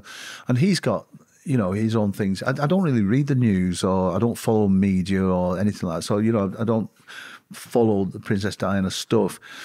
But um, yeah, her friend Gianni Versace was killed, and everybody thought it was a, a planned hit. That you know, it, looking at what happened in the security industry, that's what everybody thought had happened. It was a classic uh, hit, but it turned out it was something slightly different. But um, I bumped into her on the top deck of the boat. I was going to look for the security cabin. We, we had an allocated security cabin on this massive boat so that we could get changed and just hang out, you know, if we went on the boat. And they changed the security cabin, and I was trying to find it. And I was on this big open deck, you know, just all glass and there's only I walked in there, and I'm almost like as close as I am to you, to the princess, with her back to me, looking out over the uh, over the harbour, and she turned around. She'd obviously been crying and a lot, and uh, she said, "Have you heard about my, my friend?" Um, and I said, "Yes, yeah, we have. You know, it's awful what's happened. You know, and you know, I know you knew him, and I'm really sorry." And and she was crying, and she said. Uh, do you think they're going to do that to me? Do you think? Do you think? And I, I kind of like say no. And look at your team. You know, we'll, we'll protect you. Trying to calm her down. And as she steps closer, anybody else, you just give them a hug, right? I think that's what she wanted to feel that. But can you imagine if I'd have done that? The paparazzi got a snap of that. That would have been awful, wouldn't it? So, all your human instincts wants to comfort somebody but you can't. You've got to step back. And I had to step back and said, "Look, I've got to go now. I'm really sorry. If you need anything, just you know, give me a call." And just walked out and shut the door. See letters like that with her saying that she was fearful of her brakes getting cut and they were going to kill her next. That Yeah. do you get briefed on that as well, or is that just something you hear through the media? Well, at that time, uh, we were we were aware of it. So you do your background when you, when you work with somebody, you always do your background um, checks on them, and and you do a you profile them. So you would profile the person and, and look for anything like that. So you just so you understand where what where they're coming from and what mindset they're in. Because if you're working with a client who is fearful of their life, they're going to be more happy to work with you on your recommendations. If you if you go and protect somebody who doesn't see the need for it, they're not going to want it. So it helps you pitch where your level of security will be, but also it helps you understand their mindset, what they're thinking, but also it helps you understand of what things they've encountered and what threats they feel are against them, and, then you've got to try and work it all out and do a, a risk assessment on that. You know. Mm-hmm. Were they happy together with the kids, Harry and William? Like, was it? Could they enjoy it as a family? Yeah. Or was it so difficult because you've got security, you've got paparazzi, like Yeah. you've got all the negative press? Yeah. Like, could they enjoy being a family? Yeah, they could, yeah. And with the Fayed security, because we were all, you know, we'd worked for the family for a while, so you change your stance. So, say for example, we were operating in London, you'd be in a suit and a tie and all the rest of it. If we went on holiday, you know, say to I don't know New York or or wherever, so now you've got to blend in. So your security posture goes lower. It's still there, but nobody would know you're a security team. So you're almost like a surveillance security team. Uh, and and you're watching them and you're close, but you're, you're dressing up to blend in. And and you know when you do it right, and I've I've done this loads of times, and you, and you're in a, a situation where it could be at a, at a meal, it could be at a meeting, and people come up to you and say, uh, "And what do you do here?" You know, are you, are you a CEO of a company or something like that? Now you've, you've got it right then, because you don't know that you're security, you don't stand out, which is which gives you an advantage. Mm-hmm. You know. Yeah. So, how was Prince William and and Harry, how were they both as kids? Great kids. Yeah. Yeah. Harry, naughty little boy, mischievous boy, reminds me a lot of my son, uh, Damon, when he was little. Uh, and uh, William was like a thoughtful, more thoughtful boy. But we would sit for hours chatting with them on the boat when we were, we, we, we tried to sail off to various beaches that we knew the paps couldn't follow us. Uh, and they would eventually catch us, but you know, the boat would go out, we'd, and we'd say, we've got an hour and a half here before they come. And then we'd move. So the boys would sit with all the security guys and chat to us because they were fascinated by the military at that young age. And was, everyone was telling stories, and they were telling us stories about stuff they've done at school, which I would never repeat because some of them are quite quite funny. But uh, yeah, so we were just chatting like we were chatting like you would chat with kids, mm-hmm. you know. And I get on with kids, yeah, you know, because I've I've got six kids, so I love kids. So at the end of the holiday, this is the last time you see Princess Diana. Did you ever have a feeling that, did you ever worry for her life when she was leaving? Or was it just good vibes, they had a good holiday and it was just, I'll see you soon? Yeah, it was, it was uh, yeah, it was good vibes. It was, because, uh, you know, at that time, um, we were, the, the, security team, we were uh, bolstering up the team in America. When Dodi went to America, where, where he lived in, uh, you know, in the Los Angeles area, he used an American security team. So one of our lads went over, and we thought, mm, "Hang on, why why is somebody going over then?" And then they said the head of security said, "Right, I want some volunteers." You know, I think it was four people, five people. I can't remember now. I put my name down because I wanted to go. You know, I've got a lot of family in the states, so um, so we knew before then that something was happening. Then when the princess told me she was going to live there, it, it kind of made sense, you know, why Mr. Fayed wanted a big security presence there. to obviously, possibly double up with, with and look after the princess, you know. Yeah. So both of them are going to live in America. Yeah. And you were to go and protect them as well. Yeah. Now, um, apparently, uh, the house she looked at was Julie Andrews' old house. So although they weren't going to live in the same house or in the same area, so it just made sense, and, and it just looked like a, a young love affair to us, to me. You know, when you see somebody for the first time just getting to know each other, I didn't think anything. You know, now everybody's got their own opinion on it, of it, of course. But for me, yeah, I, I generally um, say it as it is. They were just a, a young couple. Uh, he was obviously um,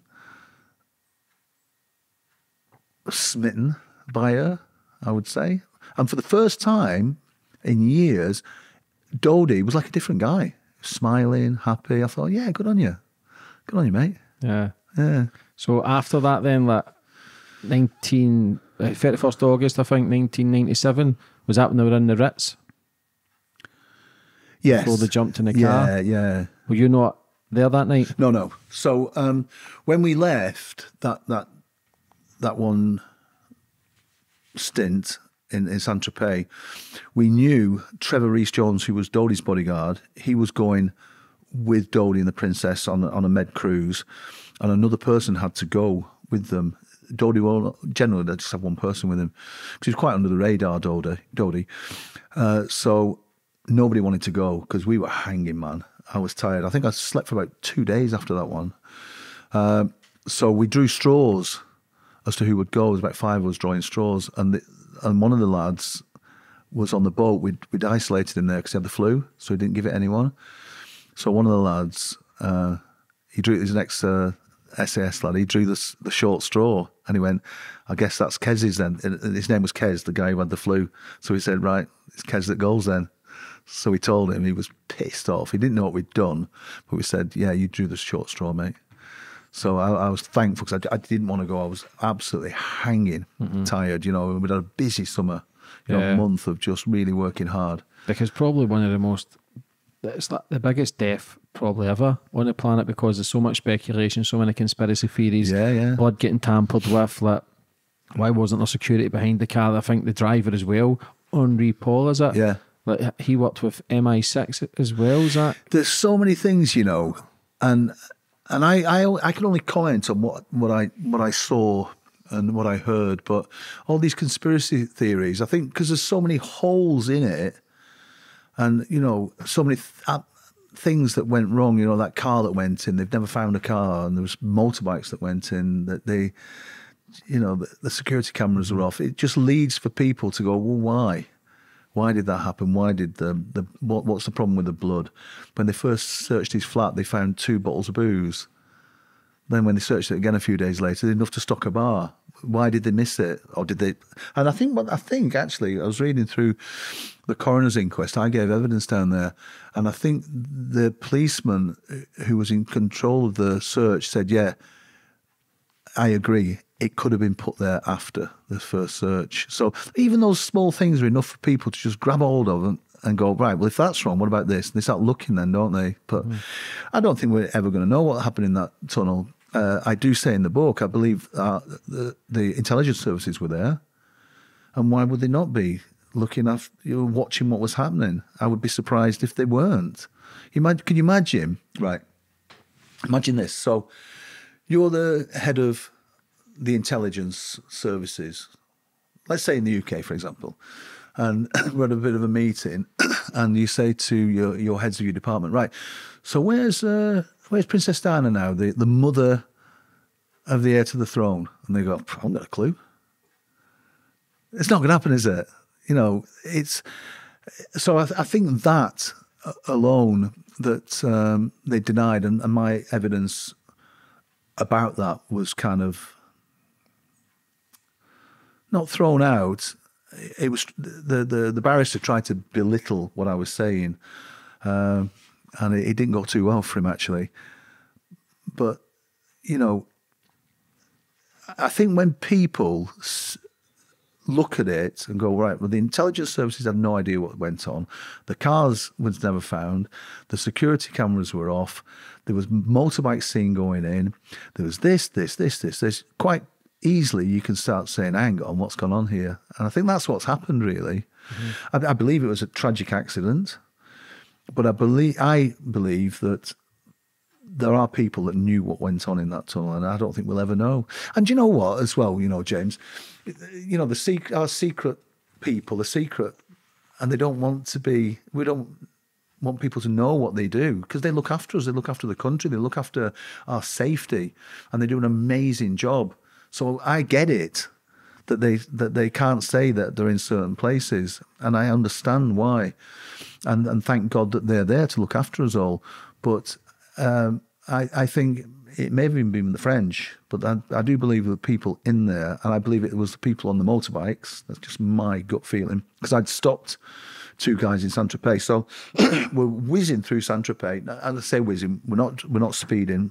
Let's just um, let everybody understand that they see bodyguards whizzing around in cars and all the rest of it, and speed kills. And if you speed into an ambush, you go into an ambush quicker. So you, you, that's that's you know that's for Hollywood. So we were driving down, and so we had a convoy of vehicles, and we'd sent a couple of cars out before, so the paparazzi didn't know. You know, they might have followed one and said they're not in that one or they're not in that one. Because all black blacked out windows. So the convoy goes down this, and we go down this narrow road, just enough to get a car down, maybe a foot and a half each side. And I was in the last car, it's my plan, my master plan. So we were in the back car, an armoured car. And as we got down this narrow road, we stopped our armoured, opened the doors. So even if they pushed against us, they'd push the doors back open on themselves onto the wall. You know, they couldn't get past. Anyway, there's two guys came down on on different motorbikes. The paparazzi were generally on mopeds and things like this. A couple of high-powered motorbikes, dressed in a way that ex-military would dress in, and they spoke to us in a way that ex-military would speak to us. Yeah, you're right, lads. Um, are you going to let us pass mucker, which is a military term? And we said, lads, you know, we can't do that. He said, yeah, we thought you'd say that. Anyway, cheers anyway, lads, and just drove off. No cameras, nothing. So my understanding of that was they were obviously watching the princes and the princess, and why wouldn't they be? So MI5, MI6 were watching you as well. Yeah, but I mean, you, you've got you've got the you've got Harry and William. One of them is going to take over As king. as the monarch. Could you imagine just sending two policemen out into that shit show? Do you know what I mean? Yeah. Imagine the prince saying, "Who's with my boys?" Well, we've got two policemen. See, when they left the Ritz, why was there only like one bodyguard with them and none of them had seatbelts on? Was that always the case not have seatbelts on in case you were under attack? Yeah. It's quicker to leave, or should they have had their seatbelts on as well? They should have had the seatbelts on, yeah. And uh, Trevor had his on, but Is that why he's the only one survived? Yeah, yeah. It's. Um, I think that's Trevor can't remember anything about it. By the way, he's just lost his memory on that, and uh, that must torment him. And I remember he said to me, Lee, and I, when I carried him out of the golf buggy to see Dodi's grave, and he's my size, big guy, but he just lost so much weight. He was horrendously injured.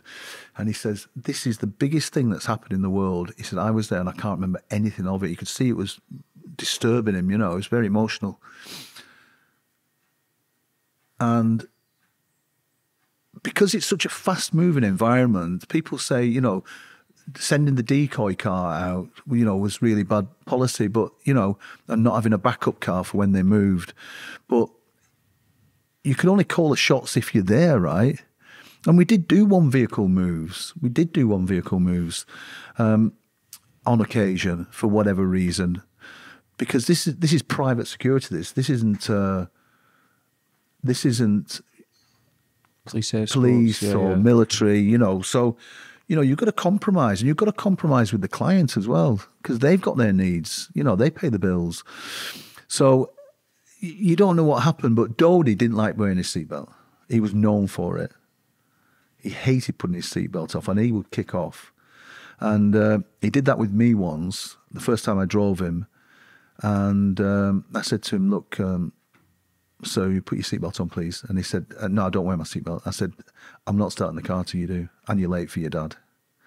And he says, I'm not putting my seatbelt on. I said, Right, okay. Next thing I'm going to do is I'm going to call your father. You can explain to him.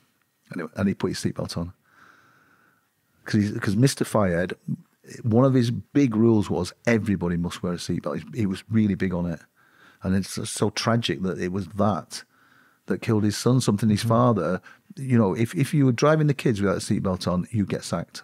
because his dad said just stay here, like, and then they wanted to leave at such a late time, like because their route changed as well. Even going under that bridge, it shouldn't have, have happened. yeah. Like, why was that route changed? Do you know? I don't know. I don't know. It's it's one of those things. It's such a fast moving environment, you know, James. That uh, unless you were, there, everybody's got an opinion on it. Everyone, but unless you were there at the time, Trevor can't remember. Um, Kez has got his opinions on things, but had the crash not happened, we wouldn't be having this conversation. Yeah, You know, so it's just it was just a, an awful thing that happened. because when in the bridge, I think seven of the paparazzi got to jail. They get charged. Yeah, and was- then they got released Yeah. because the guy, the the driver, is it Henry Paul? Henry Yeah. Paul. Um, they then saying that he was drunk and then put the blame onto him, like you says, Yeah. in the house. This is where for the outsider, like you say, it's if you're MI5, they're going to cover up everything that nobody needs to know. But for the outsider who then blamed him and says he was drunk, and then they done the blood test and says, yeah, it was blood in his system or there was Yeah. pharmaceutical drugs, to then that getting overturned 11 years later or 10, whatever, and says that it wasn't drunk. Yeah, it's, I think with the Bloods, I think the, the French weren't. I- I don't know. You, if you want to prove something about anything, you get enough experts, you've got deep enough pockets, you can change opinion. on anything. So there's that many experts there and all the rest of it. But I think the the way the, the police handled that evidence gathering left a lot of questions to be answered. I think by the way they did it, and without getting into it, I don't know the toxologist and uh, you know the carbon the carbon dioxide in his blood was a big issue. They said it came from the airbag. I just don't know. I'm not an expert in that. But what's interesting is at the end because they took blood from different parts of his body, and it and it absorbs quicker in different parts and dissipates quicker. They they can they can kind of say, well, you know, he had, I think it was twice the legal limit. So Uh, what's the legal limit then? I don't know. I'm not. It's not my bag. This. Let's say it was a pint, and we had two. We've had two two pints. He had four. So it wasn't. And you can see on the pictures he wasn't staggering drunk. He was expect, but he was made out to be pissed out of his head. And Trevor said to me, and and Kez has said to me as well, he was not drunk. We would not allow him to drive. Why would you? Why would you allow somebody pissed to drive? And they were both sober, by the way.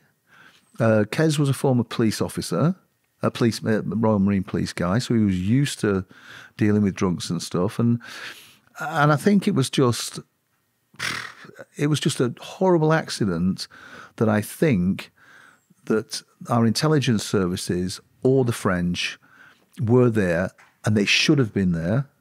I wouldn't expect them not to have been there. And I think somebody's gone, shit, we can't be seen to be here. And I think that caused a catalogue of things which allowed the conspiracy theorists to jump on the bandwagon. Mm-hmm. So you think they've had to cover that up because MI5 are going to be watching, like you say, it's the future king's mum or it's Diana, and yeah. so they think they've been following you anyway. It's just happened the paparazzis crashed into them. Let's they've, get out of They've died. They've got out of there, but then the cover ups with the speed camera wasn't working. The cameras were off um, because it, it, was a white Fiat. Yeah, you know, yeah. it was a paparazzi man, but there was marks on the side. Yeah, but again, it's because I think the ambulance was like an hour, two hours to get Diana to the hospital, yeah. and that stopped twice. I know. So when you put it all together, it's a fucked up, isn't it? It is. It's all fucked up, and and and people who are far more intelligent than me come mm-hmm. up with these conspiracy theories. I do, I just think it was an accident. I think it was an accident. I think we had people there at government level, whether it's MI6 or the French or or whoever, that uh, saw what happened and just had to bug out there quick. Yeah, because I think Eric Petel as well. He was the only witness there, but they never used his evidence either. It's so there's a lot of question marks everywhere. But yeah, because I, I think as Al Fayed, he believes that his son was killed. Yes, he does. Yeah, and he was. It uh, it, it it tore him apart massively, and the whole family, and and and, and living through that. You know, this is what people don't understand that, that Dodi died, his son. You know, the brothers of these children. So we went through with I went through that all the whole thing with the family you know. And uh, and grief is grief, isn't it? And then the princess obviously died. It was such a sad time for for her family. But uh, yeah, it was interesting that she told me that she'd gone to the highest level in government and asked them to, to create a bill to get the to to calm this down. And, and she was told in no uncertain circumstances, no, we're not going to do it. And she said, I, she said, I didn't cry in front of them. I waited till I got back in my car to cry. Yeah, but was that not Tony Blair that never done that? She wanted to take away the paparazzi or get security, but Tony Blair signed it to say no. But yet he was speaking at a funeral. I know. That's fucked up, and that's? Why did that happen? When I saw that, I was like, this is fucked up. Yeah. But hey.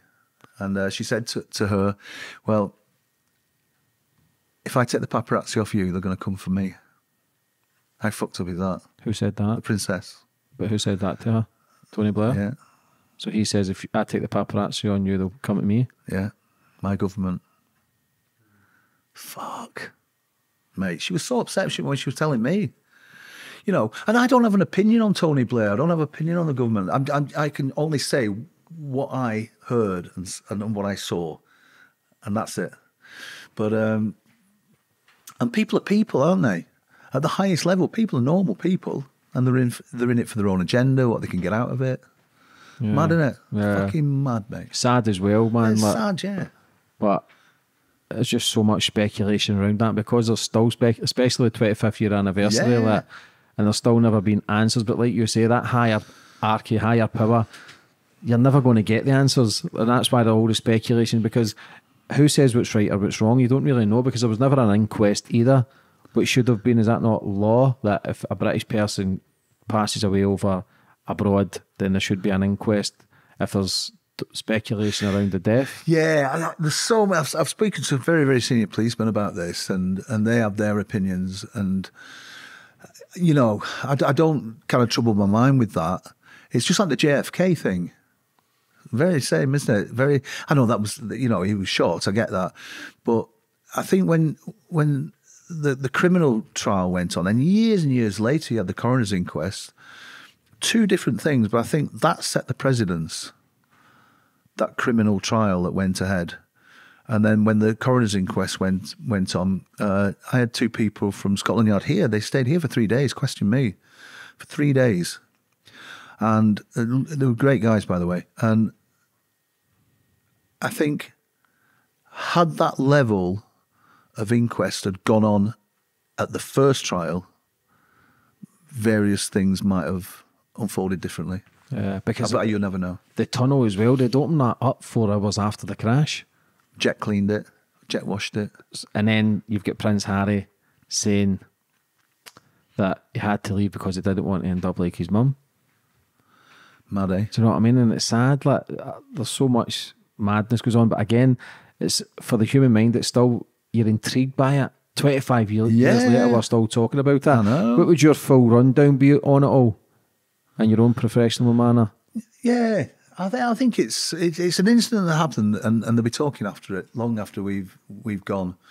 But uh, I think uh, some people make their their living out of it, don't they? Out of Princess Diana and and and regurg. I mean, you get. I think that's why I've been on so many shows and this and all over the world because people love the princess. They still do.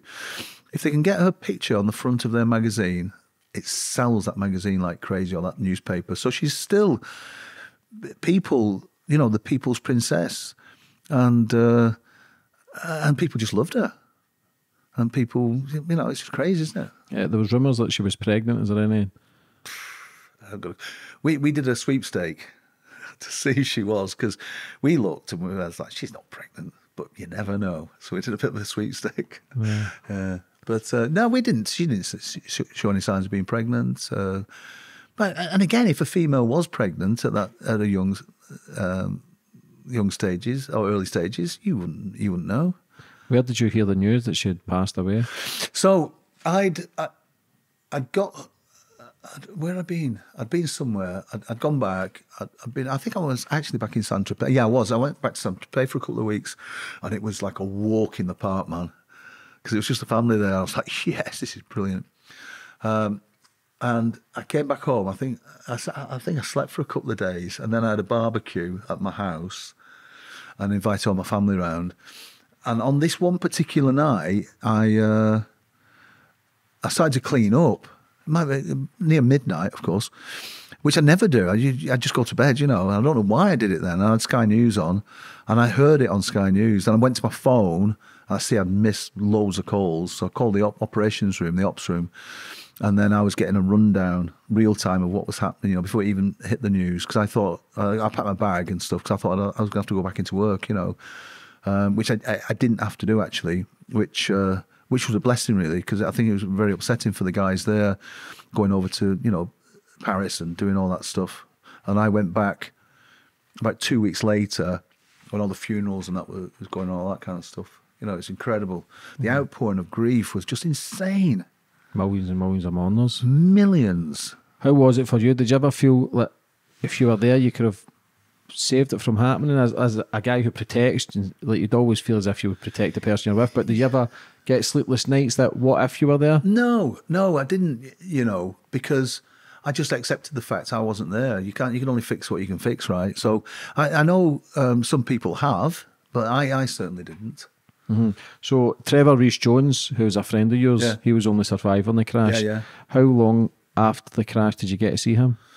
So I, he he came out of hospital, and it was weeks later, and he came down to the family home, and and um, Mr. Fayed had built like this beautiful thing, you know, in memory of his son, uh, and it's probably about half a mile from that from the actual house, but in the grounds, you know.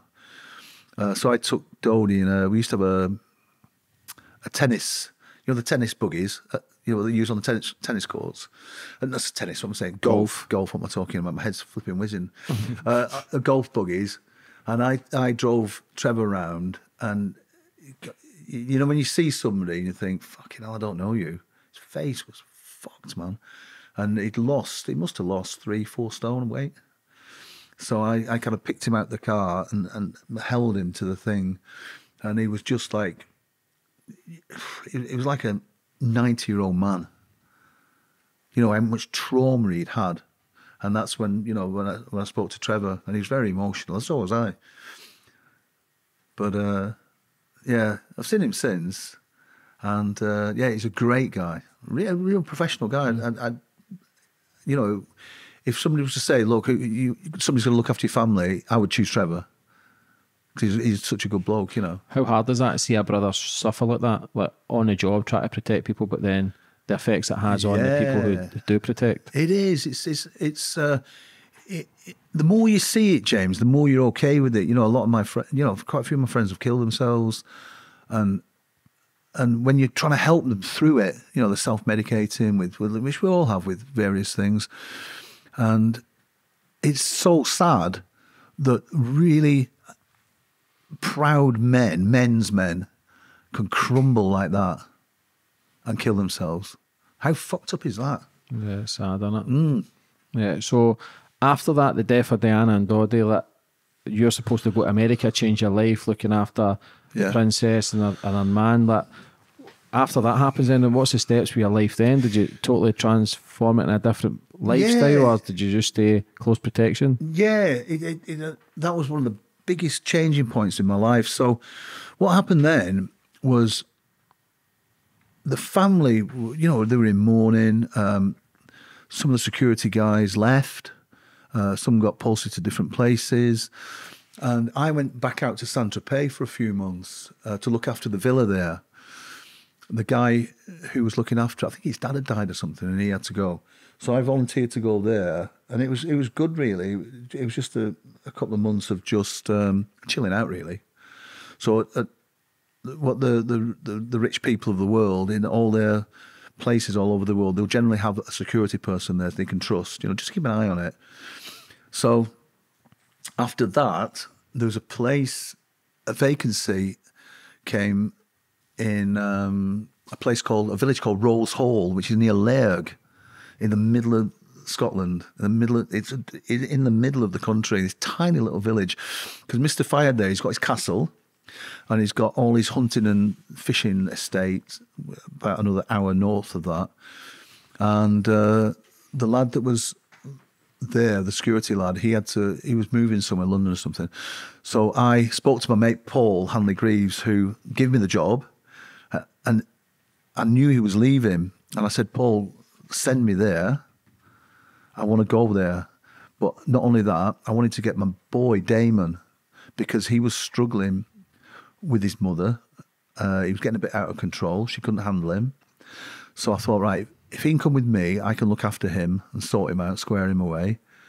And uh, so he said, no, um, the boss won't let, won't let you do that. I said, he'll never know, will he? I've been out in Saint Tropez now. I'm off his radar. Just send me there. And I badgered him. And in the end, he said, for fuck's sake, Lee, right, go. So I went there. My boy came to live with me. But uh, Damon was probably about 11 then. And uh, I was living there. You know, Tom Selleck, you know, the Magnum. I was at the Magnum of the Highlands, mate. Hunting, fishing. It was great. Just getting into the community. There's just one pub, a few houses, doing things in the community. And um, obviously look keeping an eye out on his estate, and then we had a security team in the castle, which I didn't go to, and then uh, so I'm just living the life of Riley there, having a great time, and what what happened then was I went down to the castle. Um, I think the family were coming up to stay.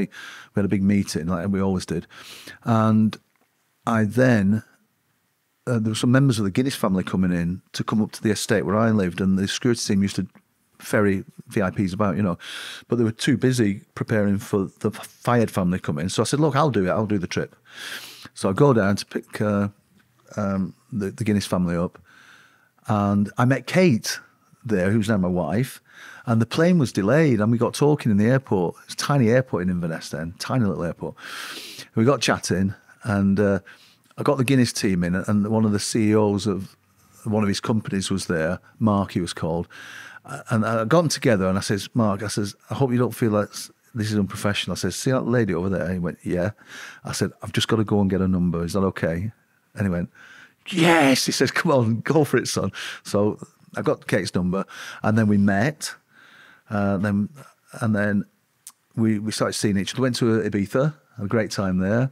Came back, and then and then Mr. Fayed visited.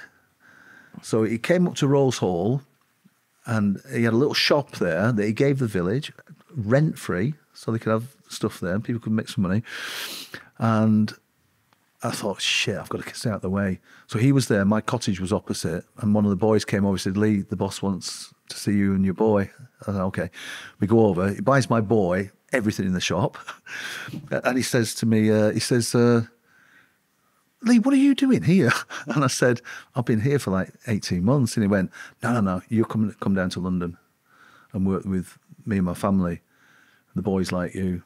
And I said, Mm. I said, I've got my boy here. He's in school. I said, no, I'll get your house. We'll put we'll put him to school. We'll sort all that out.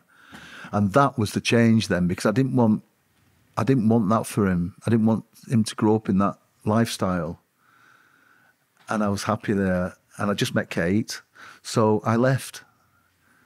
I left employ- the employment of the Fayed family then. So was he going to put your kid through private school with his own Everything. sons and a big house in London?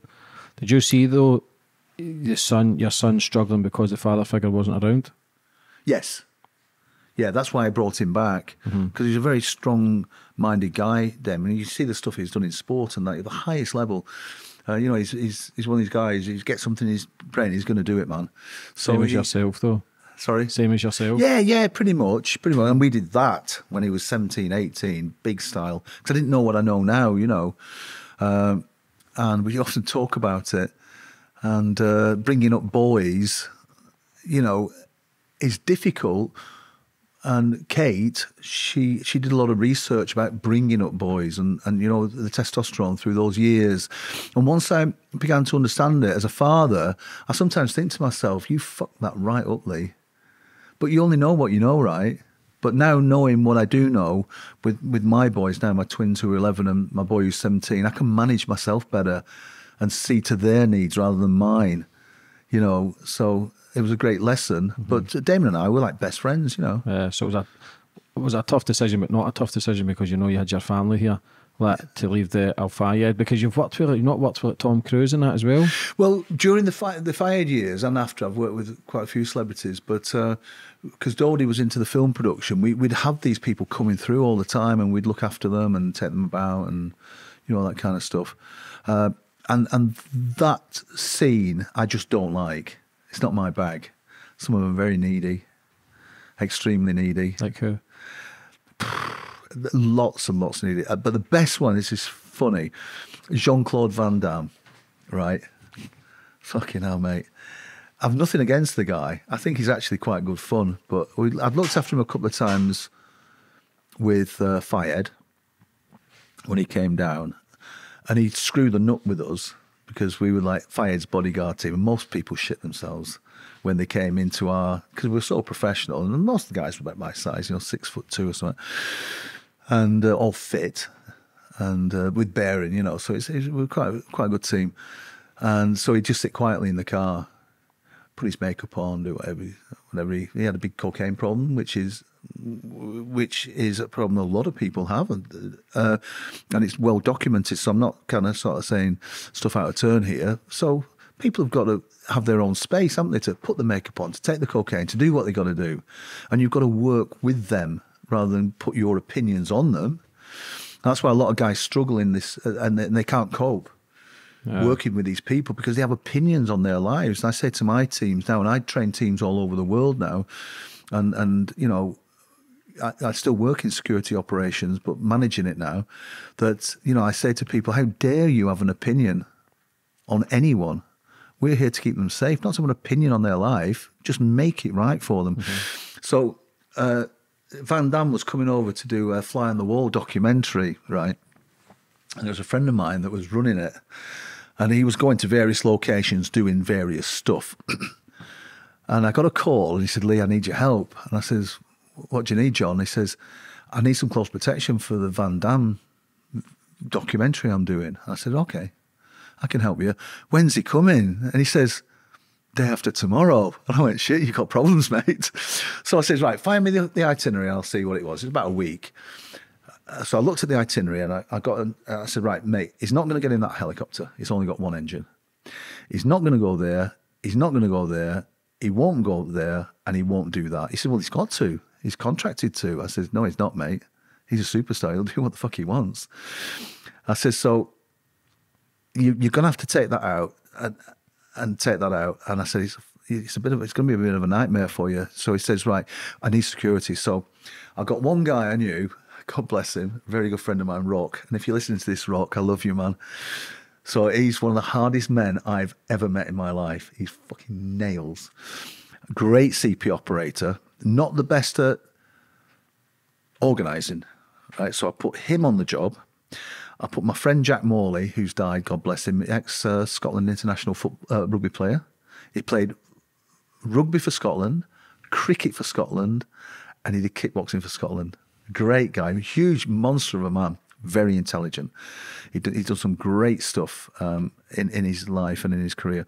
So I put Jack down to look after Rock. I put Rock there to look after Van Damme, and then and I put a team around them. Okay, so he's the waiting at the airport in Birmingham for him to, to fly in. He's not on the flight. He's flown from Hong Kong. He's not on the flight. Rocks on this. We've lost. I said, you can't lose him. We've not even picked him up yet. Fucking find him in the airport. He says, he's not on the plane there. I've checked the itinerary. He's not there. I've been airside. He's not here. Like, shit. What are we going to do? Nobody could contact his PA because she was in the air flying on a different flight. So that so Rock stood outside the airport thinking, what the fuck are we going to do? All of a sudden, this car pulls up.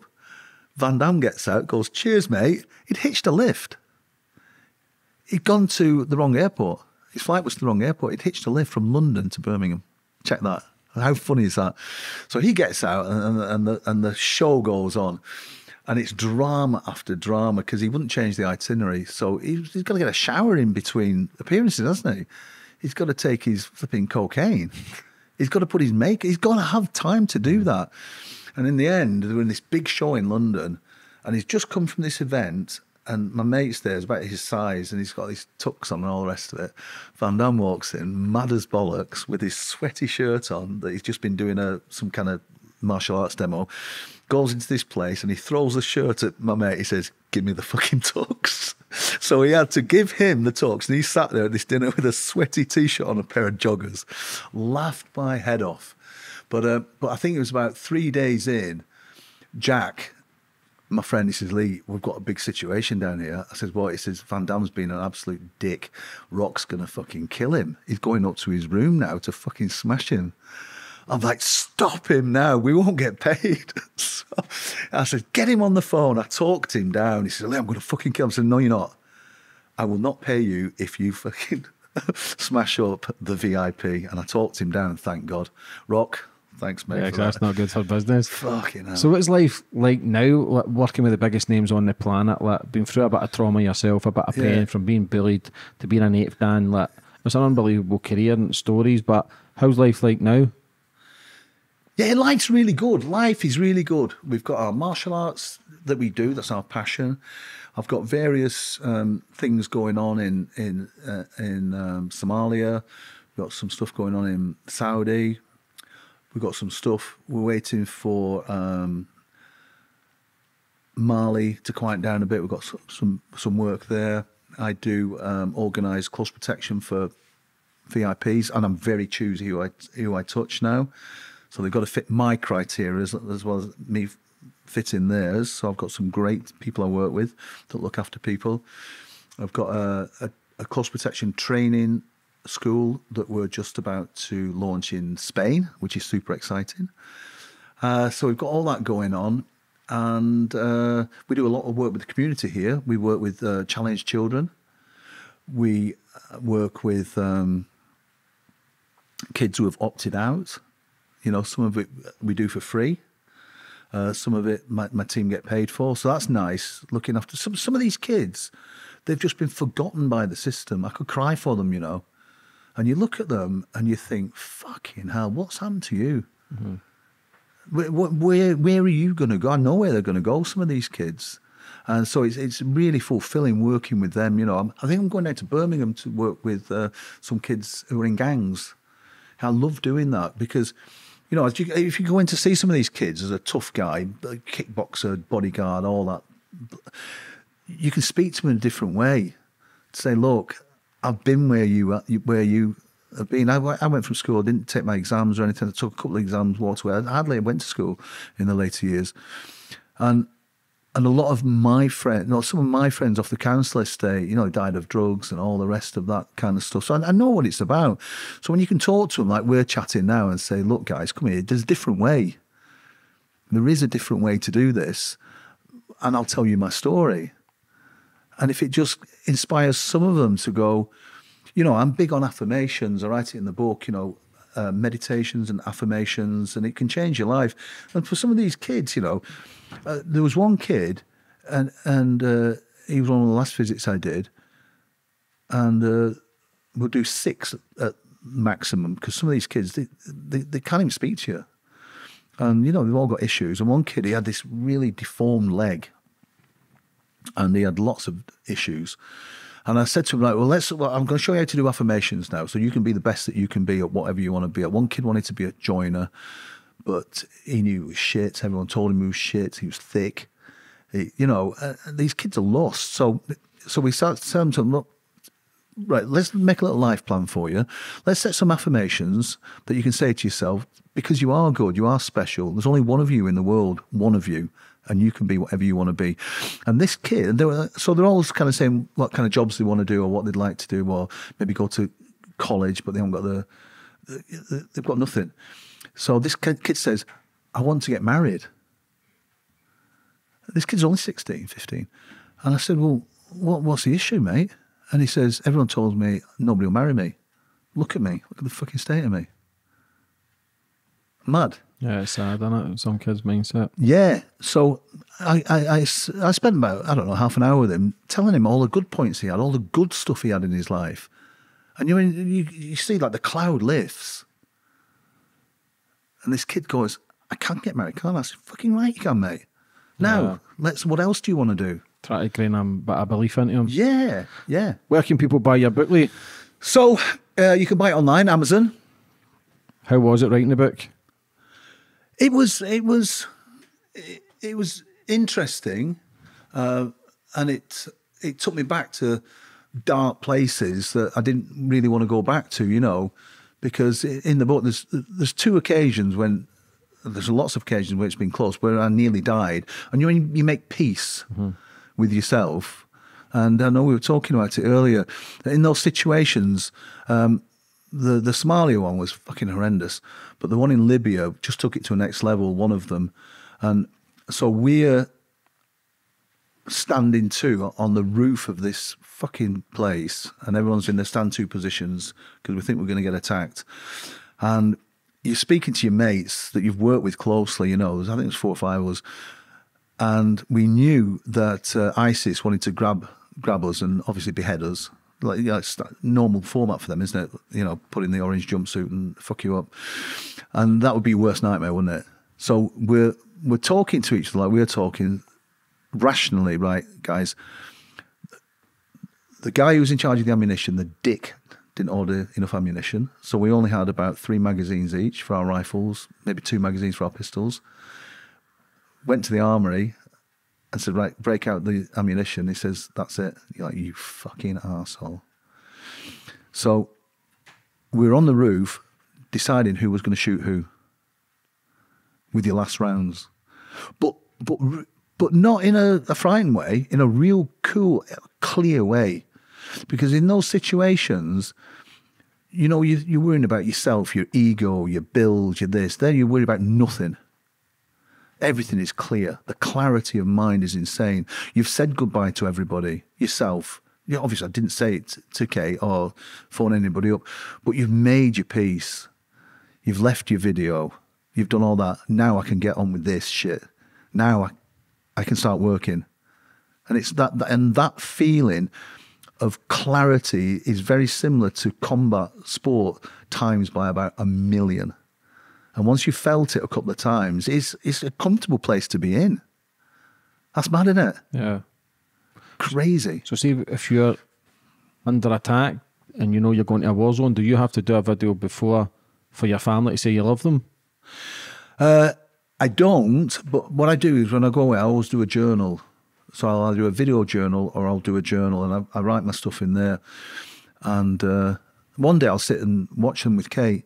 But um, but what you do on some of the well, a lot of the jobs is you do a proof of life thing. So I, I write down everything about my my life, and Kate writes as well. Uh, you know, the different different things that we know only she knows that I know, and we'll have our things that if they have to prove I'm alive, they will come to Kate and go through my proof of life, and they'll ask questions to establish if I'm alive. So imagine Kate going through that. Just that alone is fuck, nails, isn't it? Yeah, it's madness. Just before we finish up, brother, for anybody, I know you're big on mental health and that. I know you've lost friends through mental health. I know you've battled yourself sometimes with mental health. For anybody that's maybe struggling themselves, what advice would you have for them? It's it's it's tough. It's tough, James. You know, the government says there's help out there. There's not enough. Um, but it's a start. It is a start. Now, people with mental health issues, this is what I would say to a lot of people is look, you can turn this shit around. There's there's books out there you can buy, and it might sound a bit crap, but you can take ownership of it. You can go in search of things, read about inspirational people who've been in the same situation as you. Look how they've done it and, and take be proactive. You don't have to lie back and say the government's shit, they're not helping me. Well, yeah, okay, we get that. Now, what are you going to do about it as a person? Come on, fucking get out there. As dark as it may seem, just try one thing and see. Because there's there's not a lot of help out there. People are lost, aren't they? When you you know when you're down that dark place where you don't give a fuck whether you die or not. You just really don't care, and you can't get out of it, and you and you you want to get out of it, but you know what's happening and you just go down that fucking tunnel, right? And, and it's got to be at some stage, you've got to go, fucking stop. Let me get something positive in my life now, whether it's a video, whether it's a song, whether it's something, and just start that proactive thing of you standing up there and going, you know what? I can fucking beat this shit. Yeah, that's the name. Mm. Lee, for coming on the day, brother. I thoroughly Cheers, enjoyed brother. I'll leave the link in the description for your book as well. But great story, mate. I wish you all the best for the future. Thank you. God bless you. Great seeing you.